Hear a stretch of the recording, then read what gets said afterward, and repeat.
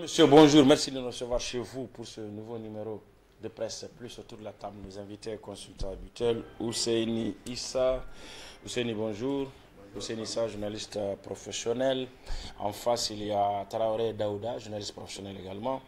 Directeur de publication du journal Le Matinal. Traoré Daouda, bonjour. Bonjour. Merci d'être là. À côté, il y a docteur Amadou Bounti Diallo, ancien chercheur à l'université Abdoumoun Niamey à la retraite, mais anthropo-philosophe, anthropologue et philosophe à la retraite euh, et de formation, pardon. Docteur, bonjour. Merci d'être sur ce plateau. Très rapidement, le menu de presse plus euh, que je propose euh, de découvrir dans ce- cette, cette introduction de notre camarade de la rédaction, Boubou Karamou. Pour ce dimanche 23 juillet 2023, Presse Plus, votre émission préférée, vous propose deux gros sujets à la une. Ces sujets actualité oblige, bien que effrayés la semaine passée, sont encore revenus parce qu'ils restent toujours les faits dominants de cette semaine aussi. Alors le premier sujet, c'est l'insécurité liée aux activités terroristes dans le pays. Ce sujet est titré Insécurité, Tilaberi, la terreur continue. Le second sujet, quant à lui, fait le buzz. Par la deuxième semaine consécutive, c'est la proposition de révision du code électoral. Il est intitulé Loi électorale, le choix de l'argent. Voilà pour le menu. Bonjour et bienvenue à toutes et à tous dans Presse Plus. Euh, je dois dire même même si on a pris beaucoup de retard avant le démarrage de cette euh, émission, si le temps nous le permet, vers la fin de Presse Plus, euh, nous allons essayer de parler de- d'autre chose que de ces sujets euh, parfois assez tristes. Nous allons parler football, donc si le temps nous, nous permet, Inch'Allah. Mais en attendant, voyons le premier, le premier sous-thème, vous l'avez suivi, insécurité Tilaberi, la terreur continue, c'est le moins que l'on puisse dire, avec euh, certains événements sur le terrain auxquels les populations font face malheureusement. Le résumé est aussi signé. Boukaramadou. Insécurité, Tilaberi, la terreur continue. Oui, la terreur continue à Tilaberi, dans les zones des trois frontières et dans plusieurs régions du pays, aussi sous différentes formes, peut-être, mais elle continue. Malgré les discours officiels qui parlent plus d'accalmie et de maîtrise de la situation, les populations locales, elles vivent encore le calvaire sous toutes ses formes. À Saï, à Torodi, à Tera, dans le Gourol, dans l'Anzuru, parfois pas si loin de Niamey, la capitale, la situation se dégrade. Bref, les discours et les faits à suivre tout de suite le débat.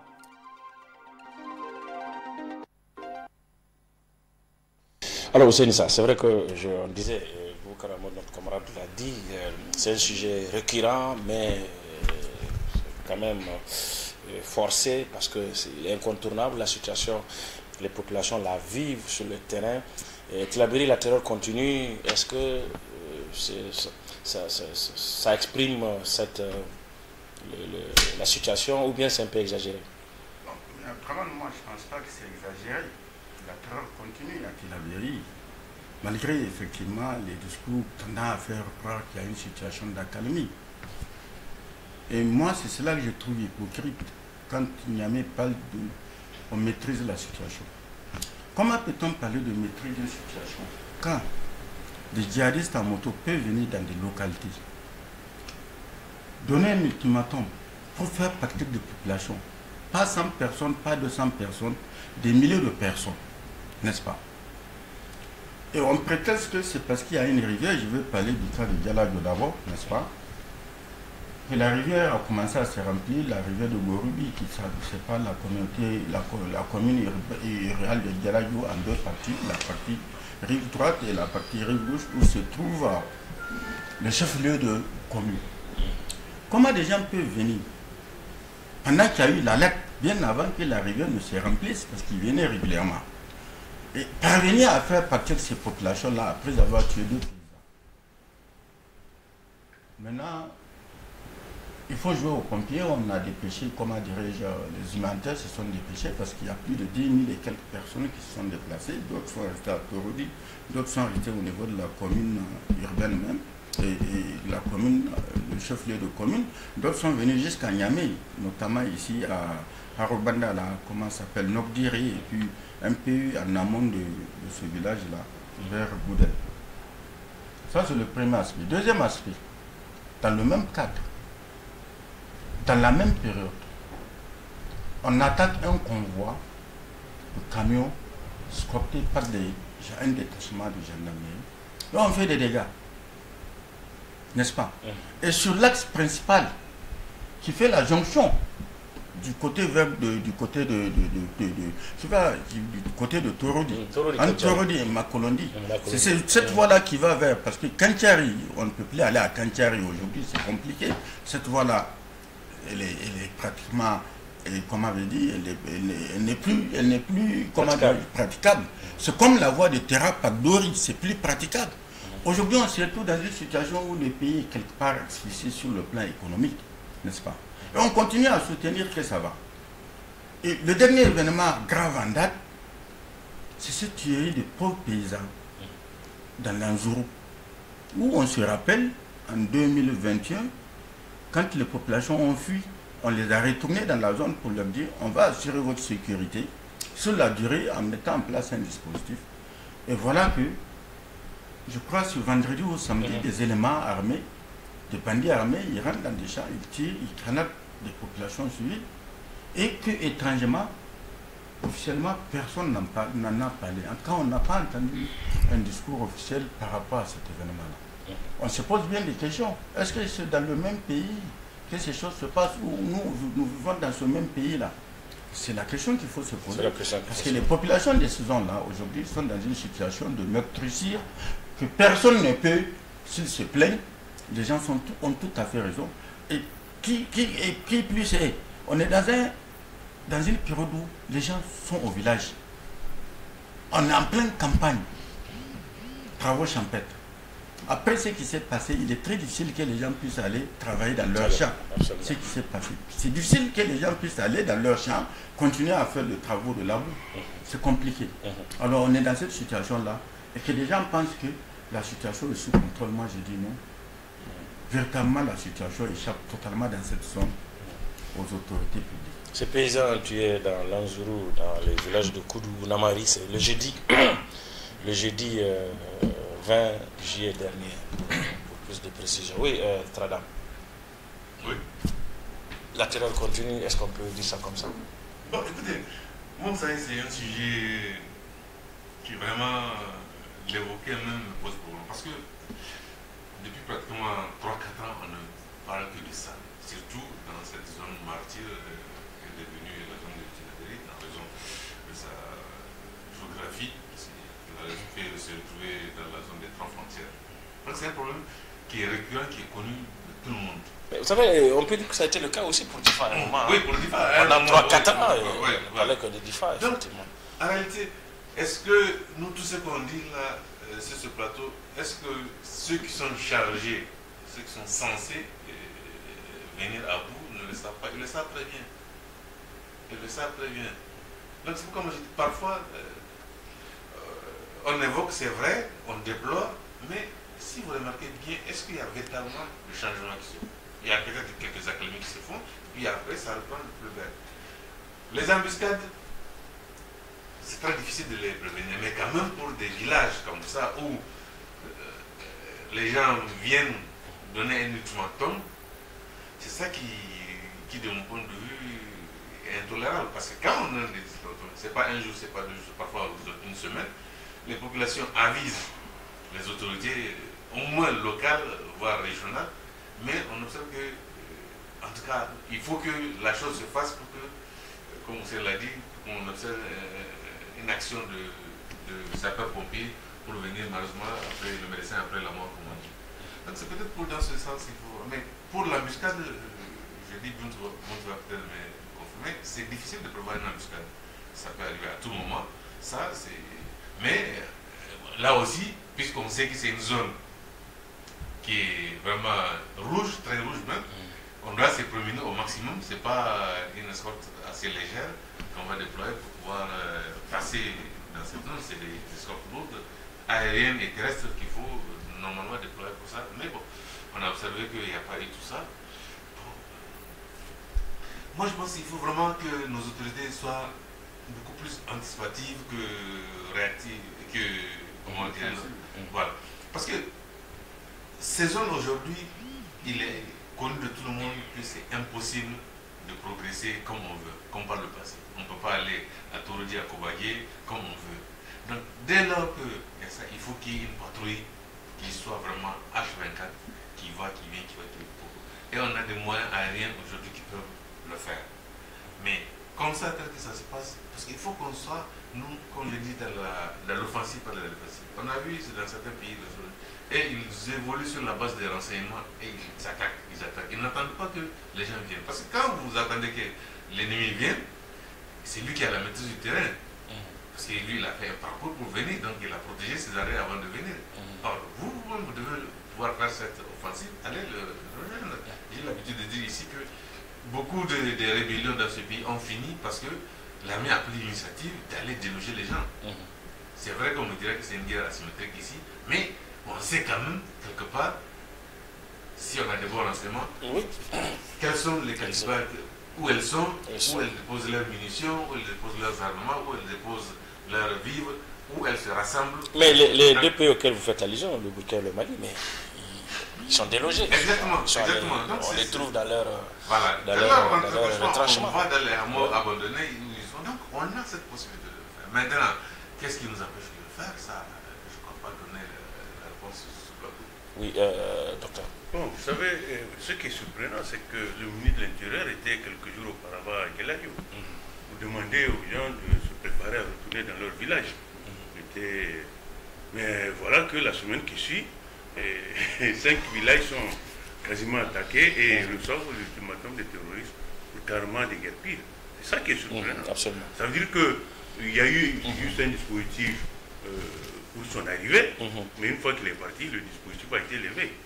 Et je l'ai dit ici la semaine passée, ils ont des hors-bords qui ont fait leur preuve dans le lac Tchad, qu'on peut déployer à Urugelayo.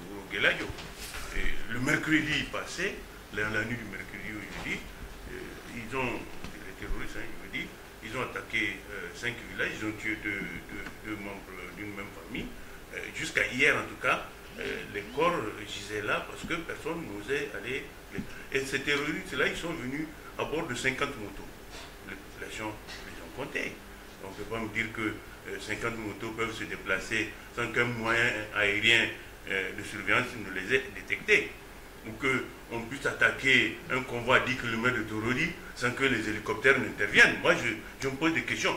En réalité, euh, si nous nous fions aux images, apparemment, les, selon ce que les Maliens et les Burkinabés montrent, c'est que, en réalité, quelque part, les forces étrangères donne des coups de main même au niveau du renseignement et de la logistique à ces forces-là. C'est là où c'est inquiétant. Ça veut dire que nous avons accueilli des forces, en réalité, qui ont été chassées pour les mêmes motifs au Burkina et au Mali, qui sont en train de jouer le même jeu qu'ils ont joué là-bas. Rappelez-vous, dernière, les dernières frappes en cas de la semaine passée, les Burkinabés ont dit la logistique est venue du Niger. Pas par l'armée nigérienne, mais par des forces étrangères. Les Burkinabés l'ont dit. Les Maliens aussi. Donc moi je me dis que nous sommes avec des partenaires qui ne jouent pas franc jeu. Parce qu'ils ne jouent pas franc jeu, il faudrait quand même que l'on songe à les faire partir. Moi, je pense qu'il ne faut pas attendre qu'il y ait des affrontements parce que la, population sera exacerbée par les attaques récurrentes. Elle va finir par se reporter. Et il ne faut pas seulement euh, voir. Euh, euh, moi, je dis, hein, c'est seulement quand un gendarme meurt ou un militaire meurt ou un. Moi, je suis, je suis, je suis beaucoup plus touché. Pourquoi? Parce que j'étais instructeur. C'est des centaines de mille, en dehors de l'aspect sentimental, hein, la compassion que je ressens, si je ne ressentais pas ça, je, n'allais pas vous en parler, en dehors du fait que, d'abord c'est un citoyen, formé avec les deniers de l'État, pour défendre le territoire national, des hordes viennent l'assassiner, il n'y a pas de réaction de la part de l'État. Moi, c'est ça qui me, qui me chagrine, c'est ça qui me, euh, chiffonne, si je peux me le permettre, parce que je considère que le jeune homme qui meurt, c'est d'abord un citoyen, un agent qui est censé protéger l'État, on le tue, vous ne dites rien. C'est pas seulement là, hein. mais là c'est parce que apparemment c'est sur un axe principal, mais ailleurs les gens meurent dans l'indifférence la plus totale. Et, rappelez-vous, je crois que on l'a publié la semaine passée, euh, je crois que même le ranch de Toukounous, en réalité, a été attaqué. Donc lui, maintenant, il a parlé des animaux de Tchani. En réalité, c'est les animaux du parc national, du, parc de Toukounous qui ont été emportés. Et c'est la troisième fois. L'État n'en parle même plus parce que apparemment les attaques là et les crimes commis par les groupes non, les armées non étatiques sont devenus une banalité. Moi, c'est ce qui est inquiétant. Et en plus, c'est que vous voyez la situation, la situation globale de l'école, en tout cas dans la région de Tilaberi. Ce n'est pas l'État qui, qui, publie, hein. c'est des organisations euh, non gouvernementales qui publient que ce sont 19 000 élèves n'ont pas pu aller à l'école cette année, rien que dans la région de Tilaberi. Mais l'État lui dirait, on dit bon, on a organisé le bac à Tilaberi, et peut-être à Yoru, peut-être à Walam aussi, ainsi de suite. Ah non, non, non, il y a eu une mission, il y a eu une mission au nom du, du ministre de, l'Éducation nationale. Hein, et ces chiffres-là viennent en, grande partie des, des missions. En tout cas, moi, c'est au niveau de. oui, mais, mais, oui, mais oui, c'est des chiffres qui viennent aussi du ministère de l'Éducation nationale puisque euh, le ministre a publié, enfin le ministère a publié les chiffres par rapport à ça, le nombre de cols, le nombre d'élèves, euh, l'estimation, etc. Et même euh, certaines réflexions qui sont menées pour récupérer les années les années perdues par ces, par ces élèves-là. Parce que ça date depuis 2014. Hein, non, en fait, pour les, pour les remettre dans le circuit, en fait. ça va être très difficile, sauf s'il y a une organisation, parce que le problème fondamental, c'est qu'il faut d'abord, ces gens-là, ils ne sont pas partis de chez eux de gaieté de cœur. Euh, je ne vois pas un enfant déstabilisé, comment il va se concentrer sur des études si il sait que ses parents peuvent à tout moment se faire tuer ou si lui-même. Donc il faut d'abord qu'on sécurise. Moi, le discours que justement que, euh, que je refuse, c'est celui de dire non, aucune portion du territoire n'est occupée. Voilà une ville où le ministre de l'Intérieur se rend. Moins de cinq jours après, des terroristes viennent en nombre intimer aux, villageois de quitter ou aux, citadins de quitter. Mais vous n'allez pas me dire qu'il n'y a aucune portion du territoire qui n'est occupée. En plus, c'est que les Burkinabés sont formels. Les Katibas qui les attaquent prennent leur, départ à partir du territoire nigérien. Donc, quelque part, il y a un problème. Ce qui confirme euh, ces affirmations des Burkinabés, c'est que la, dernière attaque contre le convoi des gendarmes a lieu à 10 km de Torodi. Comment expliquer cela? Alors que l'axe a été financé par l'Union européenne, je me rappelle, il y a quelques années. Et en plus, c'est que ce taxe-là est un acte d'approvisionnement mmh. crucial pour notre pays. Si aujourd'hui vous achetez le kilo de la pomme de terre à 800 francs, c'est parce que la pomme de terre locale est déjà épuisée et que les, la pomme de terre produite au Maroc ne peut plus venir compte tenu de l'insécurité. La tomate, les Burkinabés ont pris la disposition, nonobstant même la situation d'insécurité, de transformer leurs tomates chez eux parce qu'ils disent qu'ils produisent assez. Et qu'est-ce qui se passe? Au lieu que cela serve la consommation locale, la tomate est en train d'être exportée sous forme brute. Donc, le président de la transition du Faso a demandé aux commerçants de tout faire pour que, d'ici la fin de cette année-là, les premières boîtes de tomates fabriquées au Burkina. Donc je pense que mhm. tous ces facteurs-là, euh, en tout cas, euh, doivent nous inciter à, prendre avec beaucoup de Merci. Euh, la une de certains journaux à propos de de ce sujet, l'éclosion par exemple, l'hebdomadaire l'éclosion qui titre Les terroristes imposent leur loi à 50 km de la capitale. Les terroristes imposent leur loi à 50 km de la capitale. c'est pas dans la capitale, Oui, le journal fait allusion justement à ces, populations de Galadio qu'on a, qui ont quitté leur village à cause de ces ultimatums lancés par ces groupes terroristes. Et puis l'enquêteur, le quotidien L'enquêteur du 17 juillet dernier a, titré Sanglante attaque sur l'axe Toro-Makolondi, une tragédie révélatrice de l'échec de la stratégie antiterroriste. Sanglante attaque sur l'axe Toro-Makolondi, une, une tragédie révélatrice de l'échec de la stratégie antiterroriste. Enfin, euh, un autre titre avant de, revenir sur ce plateau, c'est celui du journal Le Monde d'aujourd'hui qui titre Dégradation continue de la crise sécuritaire à Tilaberi, les limites du discours triomphaliste du gouvernement. Dégradation continue de la crise sécuritaire à Tilaberi, les limites du discours triomphaliste du gouvernement.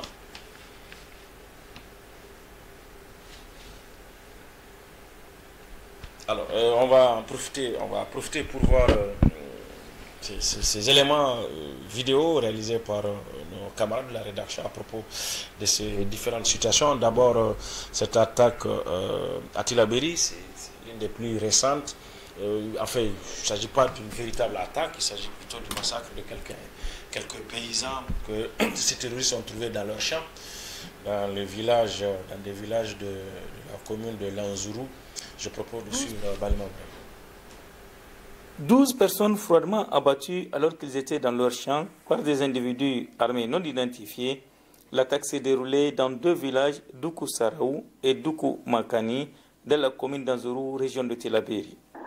Euh, effectivement, hier, euh, jeudi 20 juillet 2023, dans la commune rurale d'Anzuru, plus précisément au niveau du village de Doukou, donc, euh, il y a eu une attaque dont les cibles sont des agriculteurs qui, étaient dans, dans leur champ.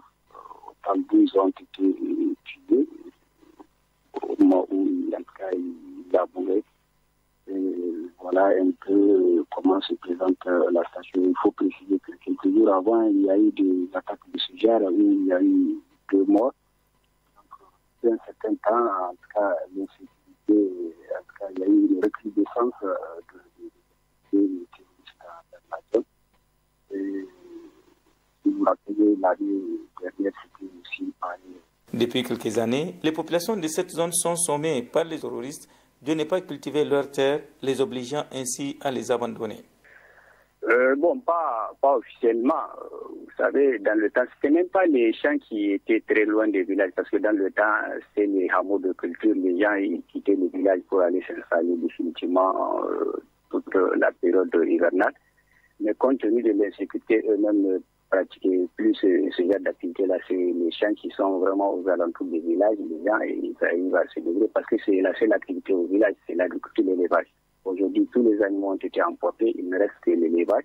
Donc c'est la seule activité de substance pour ces gens-là. Euh, sinon, euh, je ne vois pas ce que les gens peuvent faire pour ce au village. En visite dans la zone en septembre 2021, Bazou Mohamed a promis à la population une sécurisation des personnes et de leurs biens. Cette attaque intervient également à la suite de la tenue en 2022 d'un forum dont les conclusions sont restées lettres mortes selon Hama Oumarou où, au cours de cette insécurité qui a vraiment pris de l'ampleur, euh, toutes les forces de la région s'étaient réunies pour euh, voir les voies et moyens à prendre pour endiguer euh, cette insécurité-là. Et il y a eu des recommandations fortes qui ont été adoptées, mais jusqu'à présent, il reste lettres mortes. Et parmi ces recommandations, je peux vous citer par exemple le recrutement de 1500 gardes nationaux issus des jeunes du terroir, la création des brigades de la garde nationale dans les différentes communes impactées par l'insécurité. Et on a recommandé, en tout cas, la nomination d'administrateurs militaires dans les entités, en tout cas, concernées. Cette incursion des groupes armés non étatiques intervient alors que des armées nigériennes et françaises mènent des opérations dans la zone. 12. C'est ça. C'est ça, en fait, qui est troublant dans, cette affaire-là. Moi, ce qui, qui me dérange, on a justifié que l'armée française, toutes ces armées occidentales sont venues pour nous donner un coup de main, n'est-ce pas? Ne serait-ce qu'en termes de renseignement et tout et tout. Ils ont des moyens sophistiqués. L'implantation de ces bases militaires dans la zone, ça remonte à quand? Bientôt un an, sinon plus, qu'ils sont là-bas. On dit qu'ils font des missions conjointes et, souvent on, fait même la publicité, on fait des publics reportages pour montrer comment les opérations sont menées pour la question de com. Récemment, on a fait un coup où on a montré comment ils sont en train d'intervenir. Et juste quelques jours après, le, même, jour après, il y a eu comment l'embuscade dans, dans laquelle sont tombés nos soldats. Il y a eu combien de morts? Plus de 19, environ 19 morts. Voilà, on nous, on nous informe qu'on a attrapé deux éminents chefs djihadistes dans, dans, dans, dans cette zone-là. Et, et, et, que, bon, ça continue. Et on veut faire croire qu'ils sont là et leur présence est inutile. N'est-ce pas? Alors, moi je me dis, s'ils ne peuvent pas intervenir sur le terrain, qu'ils nous donnent au moins les renseignements. Parce que je me pose des questions. Depuis 2017, les gens, les populations civiles ne peuvent plus circuler à, la moto, moto.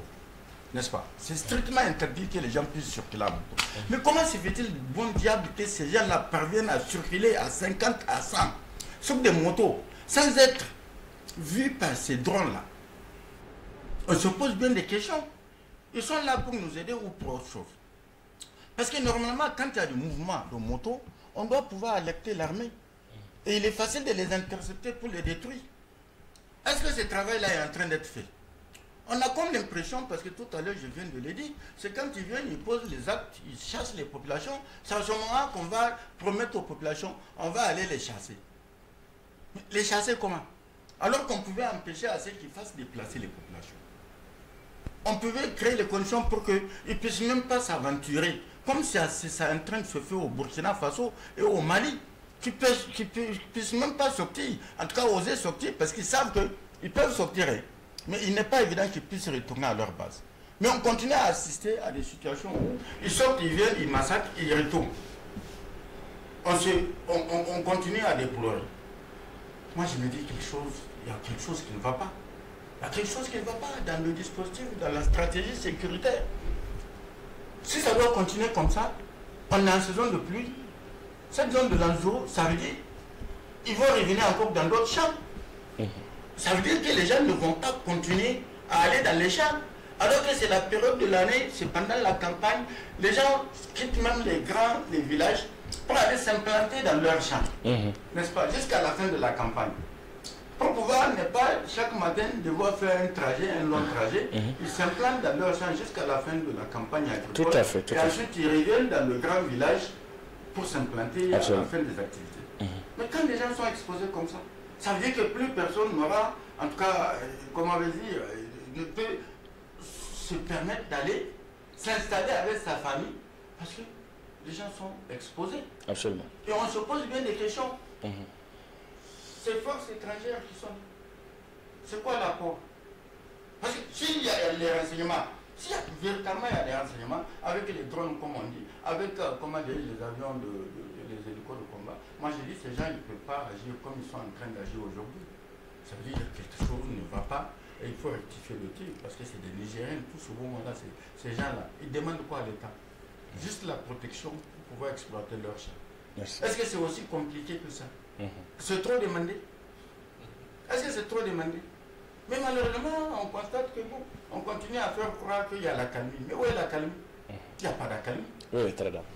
Parce que, Honnêtement, moi je pense qu'au vu de tout ce qu'on vit, nos États euh, sont, sont pratiquement dépassés. Parce que, rappelez-vous, je crois il y, a, il y a un peu moins d'un an, où quatre camions citernes qui viennent de été euh, détournés au niveau Kanchari, je crois, avant Kanchari, entre Ougarou et Kanchari, en tout cas, ces véhicules ont été quatre camions, mhm. citernes, mhm. Euh, et quatre camions de vieux, plein de vieux ont été détournés pour se fondre dans la nature. Or, quand même, nous ne sommes pas dans une forêt. C'est une savane. Cette zone, c'est une zone de savane. On te voit à milieu. Première chose. Deuxième chose, si vous voyez les types d'engins que ces terroristes ont, c'est des types d'engins un peu spéciaux. Ils sont beaucoup plus robustes que ceux qu'on a dans nos villes. Mhm. N'est-ce pas? D'où est-ce que ça vient? Puisqu'on détruit tous les jours, vous entendez, on a détruit des engins, mais on constate comme si. Comme s'ils ont la, capacité de renouveler leur. leur, leur Deuxième chose. La troisième chose, c'est des engins qui fonctionnent avec des pièces détachées aussi. Mmh. Et suprême chose, la quatrième, c'est le carburant. Parce qu'il circule tout le temps. il circule tout le temps. donc ça consomme du carburant. Donc, normalement, je ne ferai pas l'injure à nos États de dire qu'ils n'ont pas pu savoir depuis tout ce temps comment ça se fait. Ça, je mettrai ma main au feu que les gens, même s'ils n'ont pas toute l'information, ils ont des peu d'informations sur comment ça se fait. Le ravitaillement. Oui, et c'est pourquoi je dis quelque part, peut-être que nos États sont dépassés. Mhm. Mais alors, ils, sont, ils sont dépassés, honnêtement. Parce que c'est pas un truc qui est venu. Dépassés par quoi? Parce qu'ils voient, parce qu'ils apprennent, parce qu'ils comprennent. parce qu'ils comprennent eux-mêmes. Mais parce que vous, vous avez rappelé, vous avez interdit la circulation des motos dans ces zones. Et c'est les motos. On a interdit aux stations-service d'approvisionnement. On les a même fermés souvent dans, dans certains Et endroits. les gens continuent d'avoir des carburants. Quand même, il y a des gens qui ont passé toute leur scolarité à étudier comment informer, comment se renseigner.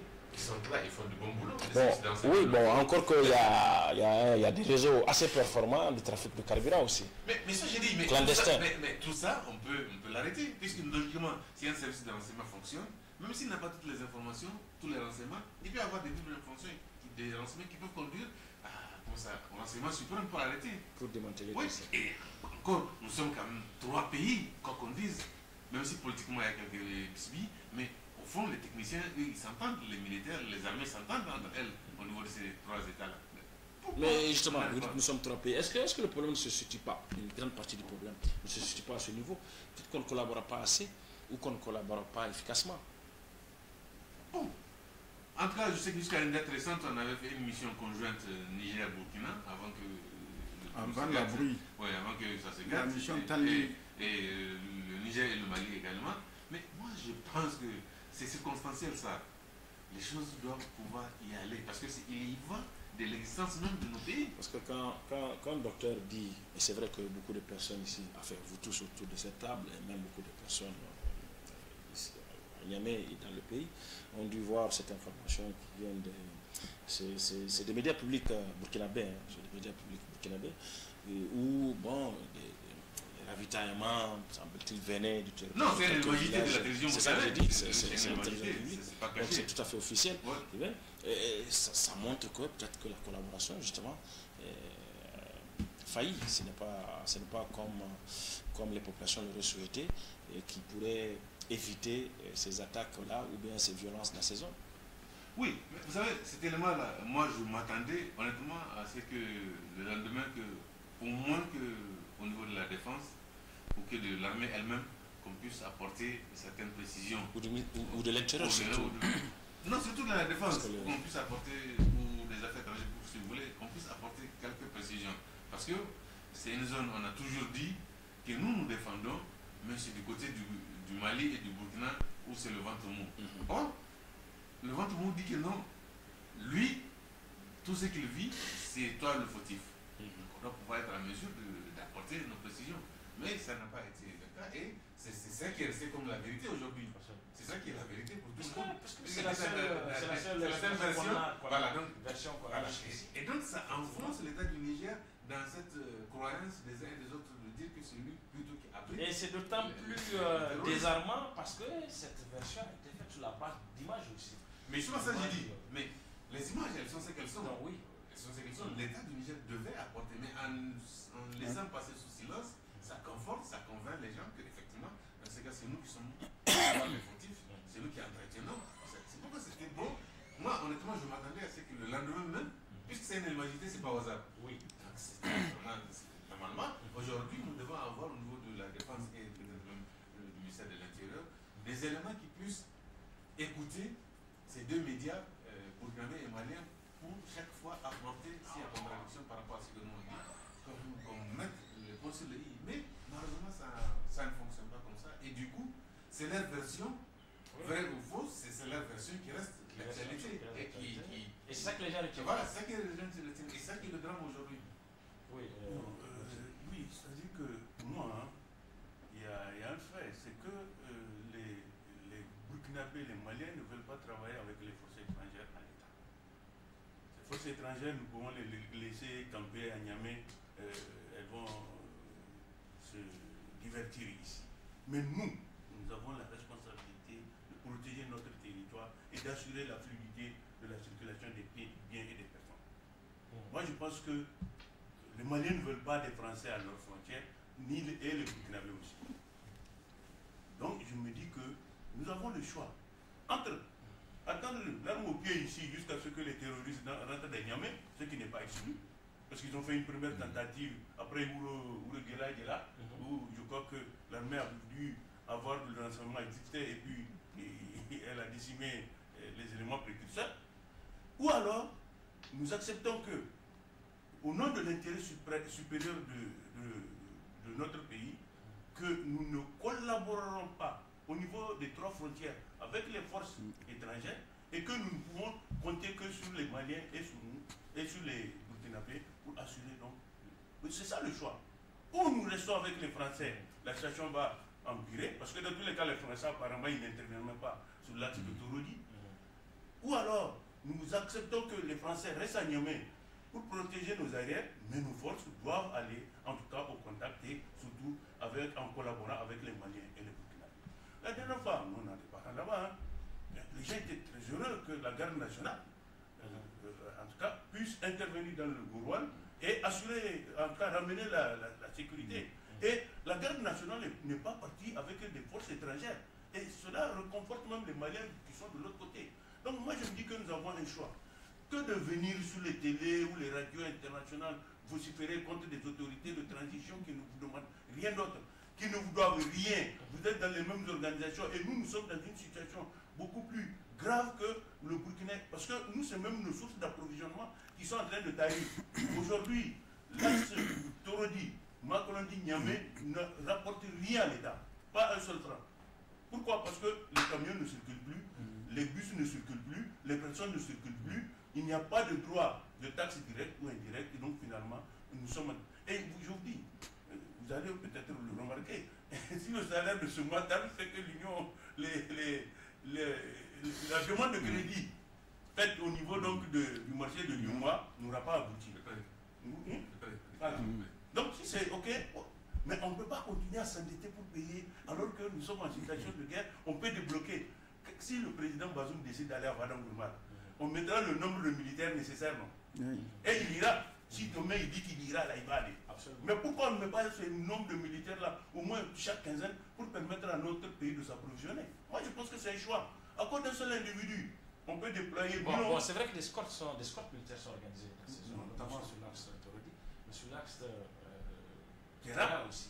Non, mais c'est peut-être une fois par mois. Mais si lui décide d'aller à Terra aujourd'hui, mais moi si je décide d'aller à Terra, c'est pour me retrouver égorgé. Donc on peut, on peut, oui, on peut, on peut faire en sorte que au moins l'approvisionnement de nos pays ne, ne puisse pas être bloqué. Et cela en y mettant les moyens. Les Burkinabés, les Maliens ne veulent pas des Français.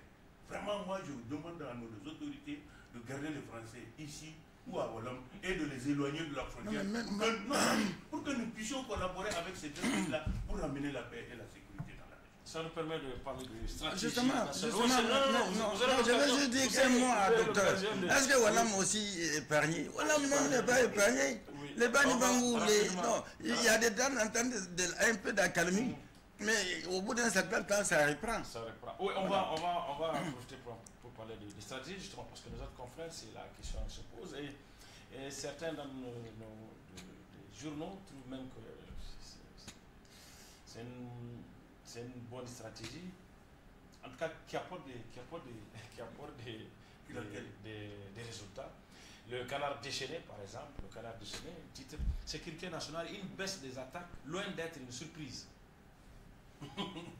une baisse des attaques loin d'être une surprise. De la une du journal Le Canard déchaîné, loin d'être une surprise parce que selon notre confrère, évidemment, euh, c'est- ça a donné des bons résultats et ça ne pouvait pas être autrement parce que des actions sont posées dans le cadre de cette stratégie antiterroriste.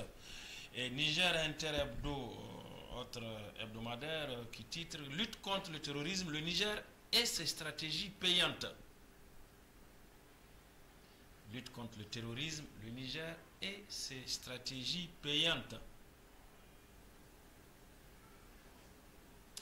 Et la roue de l'histoire, le journal La roue de l'histoire qui publie même les résultats du Centre national d'alerte euh, précoce en matière de sécurité et de, défense.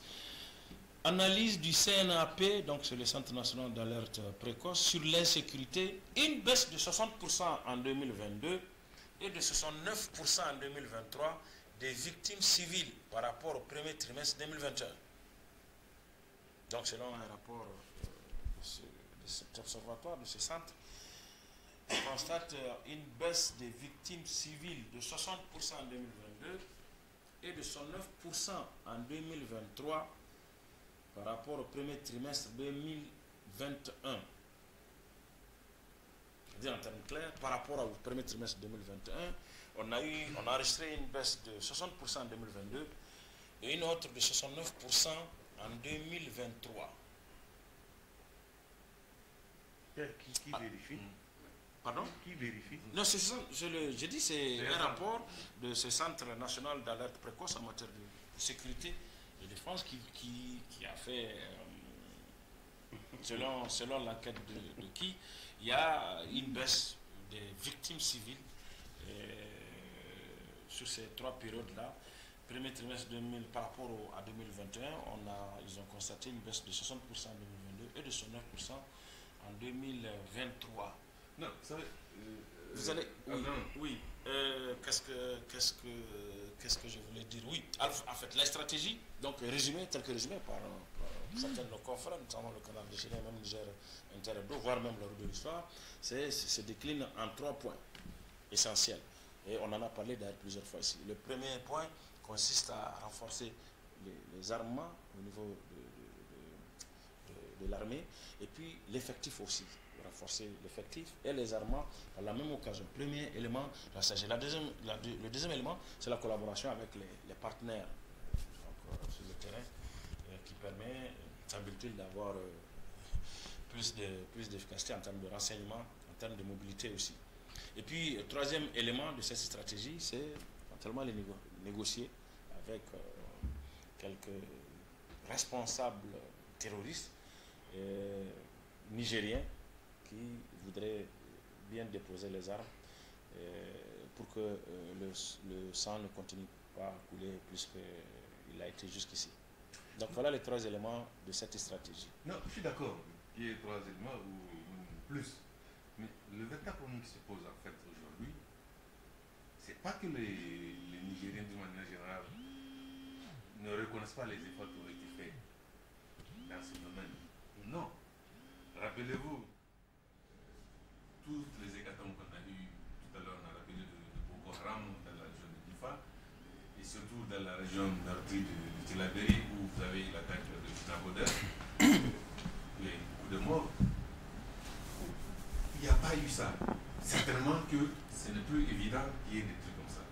L'État s'est déployé, il s'est multiplié par quatre pour mettre assez de moyens, ou des moyens, du moins, à l'institution des forces de défense de sécurité, ils ont multiplié, on a écouté, mais c'est que les Nigériens, de manière générale, aujourd'hui, surtout celui de cette zone, constatent que malgré ça, il reste quand même des choses à faire. Personne n'a dénigré, personne n'a dit que rien n'a été fait. Non, bien au contraire. Les gens savent que beaucoup de choses Mais quand quelqu'un n'arrive pas à aller dans son village, contrairement à ce qu'il fait tout le temps, tu ne peux pas le convaincre que tu fais des efforts. Ça, c'est évident. Et c'est pourquoi je dis parfois. Les gens qui n'arrivent pas à aller dans leur village, malheureusement, ils sont de plus en plus nombreux. Parce que les villages sont de plus en plus nombreux à être infectés. Mais justement, mais c'est pourquoi il n'y a pas d'hécatombe parce que les gens fuient. Voilà, mais voilà pourquoi je replie. Voilà. Donc c'est pourquoi je dis l'État devait se mettre dans une autre posture, le gouvernement devait se mettre dans une autre posture que de dire non, nous on a fait les jeunes. Non, c'est pas ça le problème ne se pose pas là. Quand, même si vous avez beau faire, vous avez investi tout ce que vous avez, s'il y a un seul Nigérien qui trouve que lui, il n'arrive pas à aller dans son village, mais on l'a fait, c'est un problème qui se pose. Et c'est pourquoi je dis la communication qui est en train de se faire parfois, elle est un peu, euh, si vous voulez, à l'envers de l'entente des gens. Les gens ont besoin d'un pouvoir qui compatit, qui reconnaît qu'il y a des insuffisances. Qui se remet en cause. Qui se remet en cause, voilà, par rapport à ça. Qui se remet en cause. Parce que de toute façon, in fine, c'est pour vous et nous qu'il est là ce pouvoir. C'est pas pour quelqu'un d'autre. Donc il doit faire. Et donc après, voilà. c'est nos avis qui doivent Voilà, c'est nos avis qui doivent. Ces avis comptent pour du beurre pour nous. C'est nos avis qui doivent compter, Mhm. logiquement. Donc il doit écouter ce que nous on est en train de dire. Mais c'est comme un médecin. Le médecin il te dit où tu as mal. Oui, absolument. Cas, s'il veut vraiment S'il veut te soigner, il ne pas où tu as mal. Il ne va pas faire les choses. Ah. Donc, c'est comme ça que le- l'État doit communiquer. D'accord, j'ai fait ça et ça, mais par rapport à ce que la population a dit. Puis c'est surtout que ils ont la chance d'y aller fréquemment chaque dès qu'il y a euh, euh, une, une grosse euh, enfin, une grosse attaque ou des villages qui se euh, des peuples, ils ont cette chance d'organiser des missions qui y vont. Mais ces missions doivent écouter des gens, attendre leurs attentes, c'est quoi? Parfois, on n'a même pas besoin de les faire déplacer, il faut les fixer il faut trouver les moyens de les fixer. En faisant quoi? C'est lui qui doit savoir ce qu'il faut faire pour fixer les, populations. Mhm. Mais ce n'est pas en venant dire non que nous on a fait ci. Non, c'est votre devoir de le faire. C'est insulter quelqu'un en lui rappelant son devoir. N'est-ce pas? Peut-être l'État doit faire son devoir, c'est lui d'écouter les gens. De dire, bon, moi j'ai fait ça, j'ai fait ça, c'est vrai. Mais malgré tout, les populations pensent qu'on n'avance pas. Comment faire? Ensemble, on va voir comment il faut faire. Moi, c'est comme ça que je, vois. Et tout à l'heure, on a, on a écouté M. Moussa. Oui, il dit que bon, des forums sont organisés au cours desquels il y a plein de discussions, il y a plein de recommandations, mais qui ne sont jamais. Voilà, les, les recommandations sont, laissées là-bas même, elles ne sont, jamais appliquées. Moi, je pense que l'État doit aussi dire non, que quelque part, aujourd'hui, si on n'arrive pas à résoudre ce problème, c'est peut-être parce que nous-mêmes, on n'écoute pas les gens. On écoute plutôt ceux qui n'ont rien à voir avec ce problème il faut qu'on écoute au moins une, pour une fois ceux qui, ont, ceux qui vivent le problème. Et, malheureusement, sur ce dossier, dans cette affaire, le discours du, du, pouvoir est constant. Bon, nous, on fait ce qu'on peut. Et donc, c'est les gens qui ne le connaissent pas. Euh, ou alors, euh, bon, les gens, il y en a qui sont de mauvaise foi, qui ne veulent pas reconnaître. Non, je la télé, j'ai dit oui par rapport à Et, et que forcément, les gens ne veulent pas le dire, mais nous, nous disons que la situation et, sous contrôle et que ça s'améliore. Non, mais ça, je dis. Parce que Ce discours est constant. Oui, il, il a beau être constant, mais ça, c'est eux qui le disent parce que mhm. les choses se demandent le lendemain ou quelques heures après. Mhm. Donc, ça ne sert à rien pour un dirigeant de se faire démentir à chaque bout de champ. Non, il faut qu'on ait le courage de s'arrêter pour dire bon, moi je fais. Il a dit lui-même, le président de la République, lors d'une conférence de cadre, il a dit, il a emprunté une diction comme ça pour dire j'ai fait son maximum, c'est mon mieux. Il a dit même qu'il mhm. a fait son mieux. Mais face à ce mur, les gens trouvent qu'encore il y a un autre mur à faire. Mais c'est ensemble qu'on peut faire ce mur. Lui, il a mis l'argent, il a recruté des gens, il a créé des structures, il a créé même de nouvelles compagnies, de nouvelles zones. C'est bien tout ça là. Mais malgré tout ça, les gens disent qu'ils ne sont pas satisfaits. Mais il faut les interroger pour savoir comment on va faire pour que les gens, vous ne quittez pas vos villages, comment on va faire pour que vous restez dans vos champs pour les cultiver, comment on va faire pour que, comme l'a dit ici, les produits qui nous viennent de l'extérieur de nos zones-là reviennent pour que moi-même, parce que lui-même, normalement, il n'est pas en paix. Mhm. Si les riz, les tomates, les, tout ce que vous voulez, les condiments, les gens ne sont pas satisfaits, mais les gens vont grincher dedans. Même si pour le moment, il ne marche pas parce que c'est interdit, mais il y aura un moment où il sera obligé d'écouter les gens. Parce que les gens ne vont pas continuer à vivre comme ça? Mhm. Oui, c'est La structure là, comment ça s'appelle Qui dit qu'entre 2021, c'est un APC, ça sort d'où? C'est quoi? Est-ce qu'ils sont allés dans les villages? Il y a des morts qui ne sont même pas comptabilisés.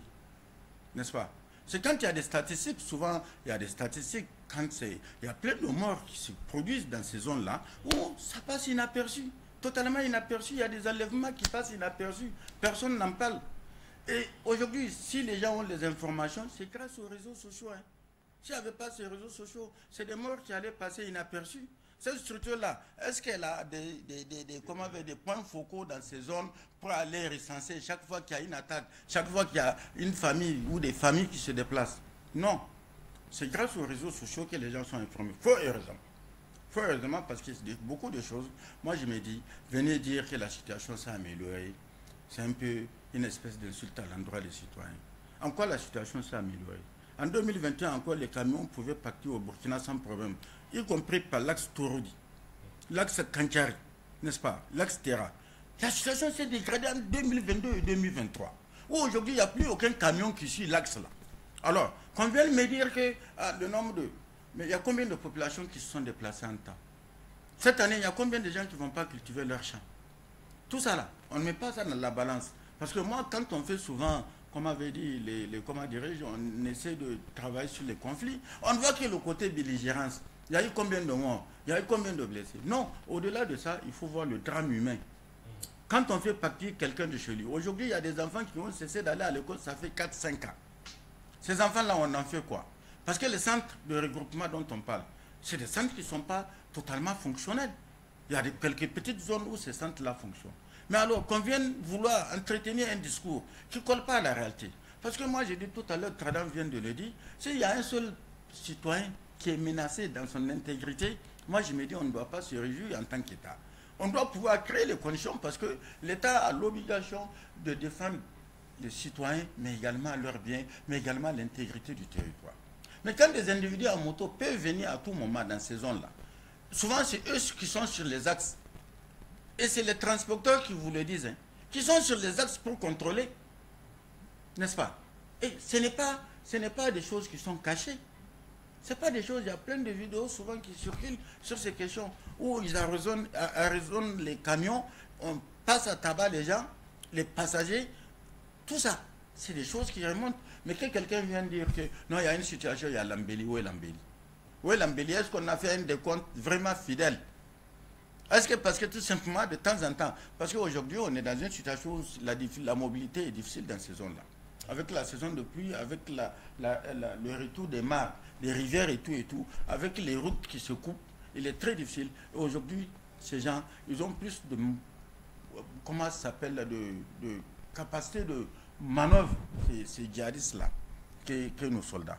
Alors, moi j'ai dit, l'option ici, non, si, si, ils ont plus de capacité parce que... Non, en fait, sans je disais à travers la semaine dernière, oui, oui, aujourd'hui, il y a une sorte de, de tacite accord entre les populations, certaines populations, et même les djihadistes. Parce que vous les voyez, ils passent et vous saluent même. Mhm. L'accord, c'est que tu me donnes soin, mais je te laisse tranquille. Comment ils viennent acheter le petit déjeuner dans les villages Parce que le problème, quand souvent ils dénoncent. Mais si c'est la, si la condition pour rester en paix, pour, rester, pour être quitte vis-à-vis d'eux. Alors, moi j'ai dit, moi j'ai dit, peut-être mais je veux dire, dans ce genre de guerre, on nous a parlé des drones de surveillance, n'est-ce pas? Mais honnêtement, est-ce que ces drones-là sont en train de faire le travail pour lequel ils sont là? Parce que moi j'ai dit, si véritablement ces drones sont en train de faire le travail pour lequel ils sont là, à partir du moment où dans cette zone, s'il y a une coordination en matière d'information, à partir du moment où ces drones-là sont là, on ne peut pas imaginer que des gens puissent venir jusqu'à 100, 50. On a une base de drones à Tawa, non? Non, mais moi je vais dire. Le président l'a rappelé avant-hier. Le président l'a rappelé avant-hier. Mais alors, mais, euh, attends, mais opérationnel après. Mais alors, opérationnel, mais qu'on n'a qu'à positionner des drones dans cette zone pour pouvoir avoir la mobilité. Parce qu'on sait que c'est une zone où les motos ne peuvent pas circuler. N'est-ce pas? C'est en moto qui font ces, ces choses-là, chez nous. Le plus souvent, c'est en moto. Alors, comment ça se passe que ces gens peuvent se, se déplacer d'une localité à une autre? À un temps, on disait qu'ils venaient du Mali, ils venaient du Burkina. Mais quand moi, je c'est des zones, c'est un peu, quand on voit un peu les distances, on se dit non, c'est pas possible que quelqu'un puisse venir en moto de, de, l'autre coin du Mali pour venir attaquer en profondeur dans la région du Telabé et pouvoir retourner. Si effectivement, il y a un dispositif bien, comment dirais-je, cadré pour empêcher. Je ne dis pas qu'ils ne peuvent pas venir, mais pouvoir, après leur forfait, se retirer, c'est ça que je ne comprends pas. Quand on dit que des gens viennent dans un village, ils ont ramassé tout le bétail. Et ils sont, ils sont partis avec le bétail. À pied. Et, à pied. Et ils ont pu s'en aller. Ils ont pu fuir. Moi, je me pose bien des questions. Est-ce qu'ils ont disparu comme par enchantement, en coupe de route, ils ont la magie de pouvoir disparaître Parce que qu'on voyait un troupeau de, de, de, de je sais pas moi, 100 têtes, c'est pas une mince affaire. Qu'on voit euh, du bétail de, de, centaines de tonnes de, bétail, ça fait, ça fait pas plus de 25 km par jour. Mais alors, 20-25 km par jour. Alors, à ce moment, moi je me pose. Surtout dans ces zones où il fait oui, Oui, mais, alors, je me pose plein de questions. Qu'est-ce qui est en train de se passer véritablement? Aujourd'hui, par exemple, quand les gens de Galadio disent qu'on a pris tout le détail, tout, ils ont emporté pratiquement tout avant de passer à l'offensive. Pratiquement, ils ont pris tout ce que les gens ont comme détail et ils sont partis avec. C'est après seulement qu'ils sont venus dire aux populations vous avez 72 heures pour vous en aller, sinon on va, on va vous massacrer. Merci. Oui, euh, bien. Mais moi, des, moi, des stratégies peintes selon, selon certains de nos confrères. En tout cas, moi, en tant que soldat, je n'aurais pas mené la guerre de cette manière. soldat, même si je n'ai pas une formation profonde, en tout cas, je n'aurais pas mené la. Et c'est une zone que je connais puisque nous avons euh, plusieurs fois fait, effectué des manœuvres dans la zone. C'est vrai que c'est une zone boisée, hein, une zone assez compliquée d'accès, beaucoup de mais moi, je n'aurais pas mené la guerre de cette manière. Et je remets en doute, en cause, les, compétences de ceux qui mènent la guerre. C'est tout. Parce que une guerre, il y a deux manières de mener la guerre. Ou on s'appuie sur les hommes, ou on s'appuie sur le matériel. Il n'y a pas dix. Euh, si c'est euh, une zone, surtout que c'est une zone très très limitée, euh, je pense que en engageant des troupes au sol, même pendant la saison des pluies, parce que c'est une zone où les forces, les forces terrestres peuvent aller à pied. Hein. on a fait plusieurs, simulations dans la zone quand on était dans l'armée. C'est une zone où, si, même si vous n'avez pas de drone, vous pouvez intervenir avec beaucoup d'efficacité. Alors, plus forte raison si vous avez des drones. Moi, ce que je constate, c'est que, euh, apparemment, l'État, il y a une certaine méfiance à utiliser le moyen aérien. Moi, c'est ce que je constate. Parce que, vu euh, la manière dont, par exemple, la dernière attaque sur le convoi a eu lieu à 10 km de Torodi, on n'a pas besoin de faire intervenir, par exemple, les forces qui sont à Kanchari. Elles vont mettre quoi? Peut-être une trentaine de minutes pour arriver. Les hélicoptères, en 15 minutes euh, maximum, ont rallié l'endroit. Et, puisque ces terroristes-là sont en moto, toute moto qu'on voit dans le secteur, on l'a détruit. Mais les hélicos ne sont pas partis, ni l'aviation. L'aviation, peut-être française, serait partie le soir.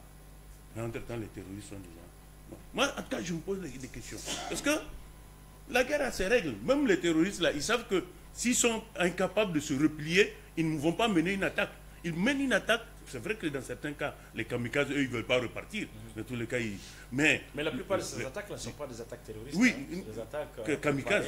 non, c'est des, attaques, euh, oui, avec possibilité de repli. Voilà, où l'ennemi prévoit de se replier. De se replier. voilà.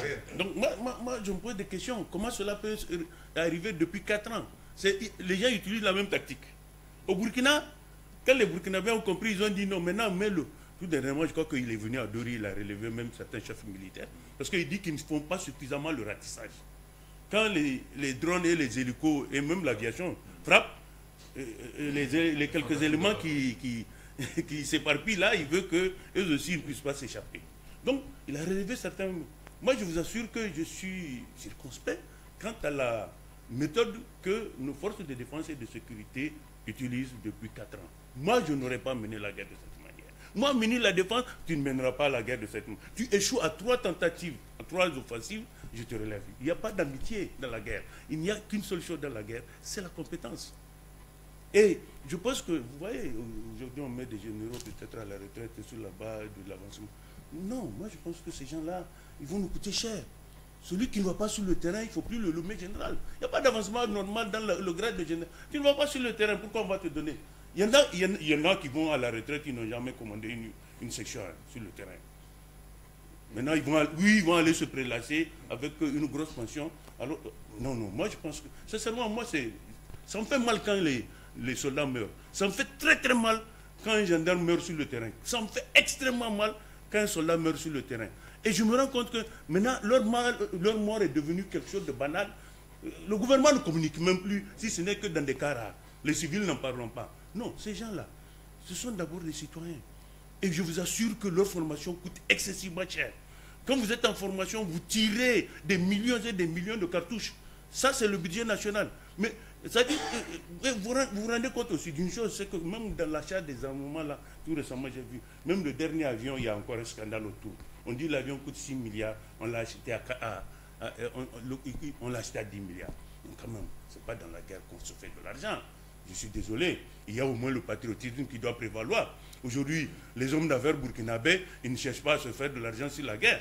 Beaucoup participent même à l'effort de guerre parce qu'ils savent que si la guerre continue, leur business là ne marchera pas. Voilà. Alors, euh, pour finir, euh, là est arrivé à certains commentaires ou interventions de nos spectateurs. On note, euh, avant de venir aux, propos eux-mêmes, on note un élément, c'est que beaucoup de commentaires ou d'interventions que je vois ici, les gens, les populations ont l'impression qu'elles sont, qu'elles sont délaissées, qu'elles ne sont pas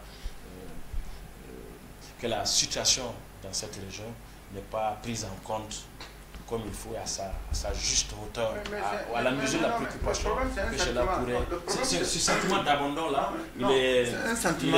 Il, prend, il, prend, il prend de l'ampleur. Oui, mais bien sûr. Est-ce que. Oui. C'est un sentiment légitime. Très légitime.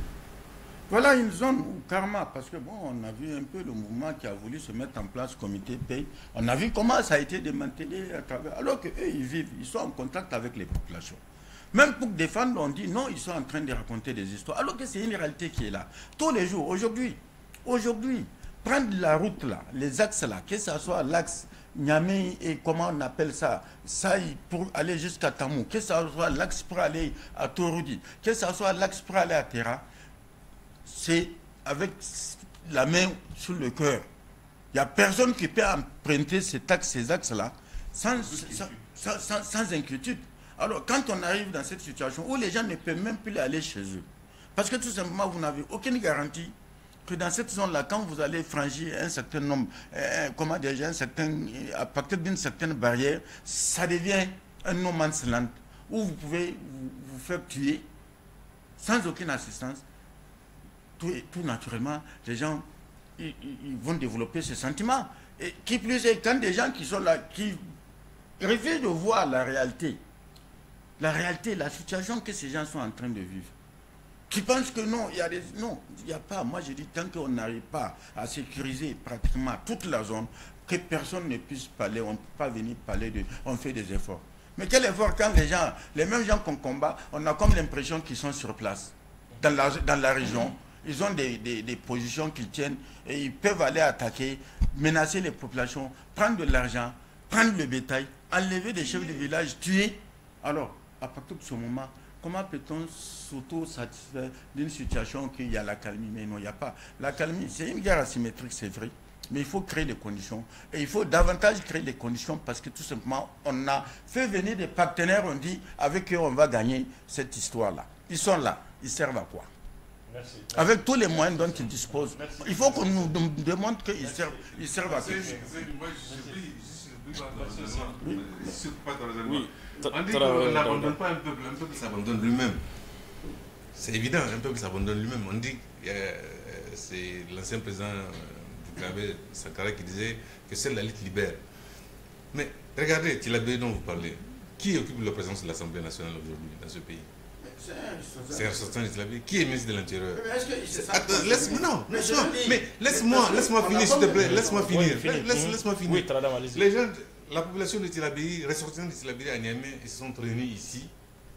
Si vous vous rappelez, à la MJC, ils ont fait une déclaration qui a été mémorable, qui a été jugée vraiment à la hauteur de l'événement. Le même soir ou le lendemain, on a attrapé les deux déclarant. Hein, on a emprisonné l'autre qui, je, je crois, qu'il continue toujours à Oui, euh, oui mais, Amadou, Amadou voilà. Amadou Maïga. Mais qui a dit quoi? Ah, Amadou Maïga toujours en prison. Qui a dit quoi? Parce que tout ça. Non, laisse-moi finir, C'est le coordinateur de Union Tilabéry. Oui, Union Tilabéry. Qui a dit quoi? Mais tant que les gens. Mais. Retenez une chose et rappelez-vous d'une chose. Le président actuel avait dit, quand il était ministre de l'Intérieur, a dit que le pouvoir, c'est un rapport de force. Tant qu'on ne crée pas le rapport de force, les gens de Tilabéry ne créent pas les rapports de force pour se faire entendre. S'ils jugent que c'est du saupoudrage que l'État est en train de faire aujourd'hui dans la région du travail, le saupoudrage va continuer. Parce qu'il n'y a pas justement euh, cette, euh, comme ça, cette atmosphère qui permet au pouvoir de dire Ah, attention, il faut que je fasse attention parce que si euh, cette cocotte minute explose, ça va être un problème pour moi. Tant qu'on n'arrive pas à ça, ce n'est pas possible. Et regardez, regardez ce, message de M. Eladji Amadou, qui, vit à Niamey, au quartier Gawai. Il pose justement cette question euh, au CNI. Il dit euh, pourquoi il a l'impression que euh, ça ne fait ni chaud ni froid aux autorités actuelles. Tous ces assassinats, avec ces multiples morts dans la région de Tilaberi. Il dit est-ce que Tilaberi ne fait pas partie de la nation nigérienne? Et est-ce que tous ces morts ne sont pas des Nigériens? Pour qui ces, ces, autorités ont prêté serment pour leur, euh, leur défense et leur bien-être. Oui, c'est ça qu'on est en train de dire. Mm -hmm. C'est pas que. Mais aujourd'hui, depuis que cette affaire a commencé, est-ce que quelqu'un a vu le président de l'Assemblée nationale être à la tête d'une délégation pour même aller voir le président de la République? Parce qu'on était la majorité, c'est vrai, mais moi, c'est ça qui me permet d'être là où je suis président de l'Assemblée. C'est ma base électorale. En dehors de, le fait que ce soit le Niger, mais c'est quand même ma base électorale. Je ne veux pas laisser laminer ma zone parce que simplement je suis dans une alliance. Il doit être pouvoir en, en mesure de dire non, Monsieur le Président, ça, il faut qu'on fasse ça et ça et ça. Malgré ce qu'on fait, les gens ne sont pas satisfaits. Mais est-ce qu'on l'a entendu? Quand on a embastillé les gens de, de Tilabéry, est-ce qu'on a entendu quelqu'un parler? Par, par contre, la déclaration, tout le monde a dit non, effectivement, elle n'est pas, elle n'est pas partisane. Elle prouve, elle témoigne en suffisance la réalité. Mhm. Quelqu'un m'a dit non, qu'il y a un mot qui a été glissé, je ne sais pas c'est quel mot qui a été glissé, c'est qui qui n'a pas passé. Certes, soit, mais quand même dans l'ensemble, ils ont retracé, ils ont fait une sorte de, de bilan de ce qui vivent la population. Mais on les a attrapés, on a jeté en prison. Le vieux, je crois, qui a fait euh, langue allemande, lui, on l'a libéré par la Oui, suite. Mais l'autre il a été interpellé. Voilà, il a été interpellé. Mais été- après ça, plus rien. Plus rien. Que, tant que la population, ne- les populations ne prennent pas la mesure du problème, aujourd'hui, organiser un meeting PNDS ou MNZ à Tilaberi, tout le monde va être là. C'est-à-dire qu'on les- une chose et son contraire. Je vous parie aujourd'hui, si le PNDS fait un meeting à Tilaberi, il va remplir là où il veut. Si le MNZ fait un meeting à Tilaberi, il va remplir là où il veut.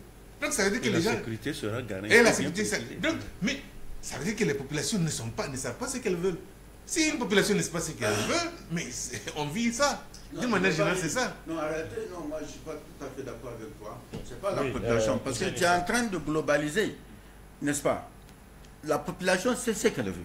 On connaît l'environnement politique dans lequel on évolue dans ce pays, n'est-ce pas?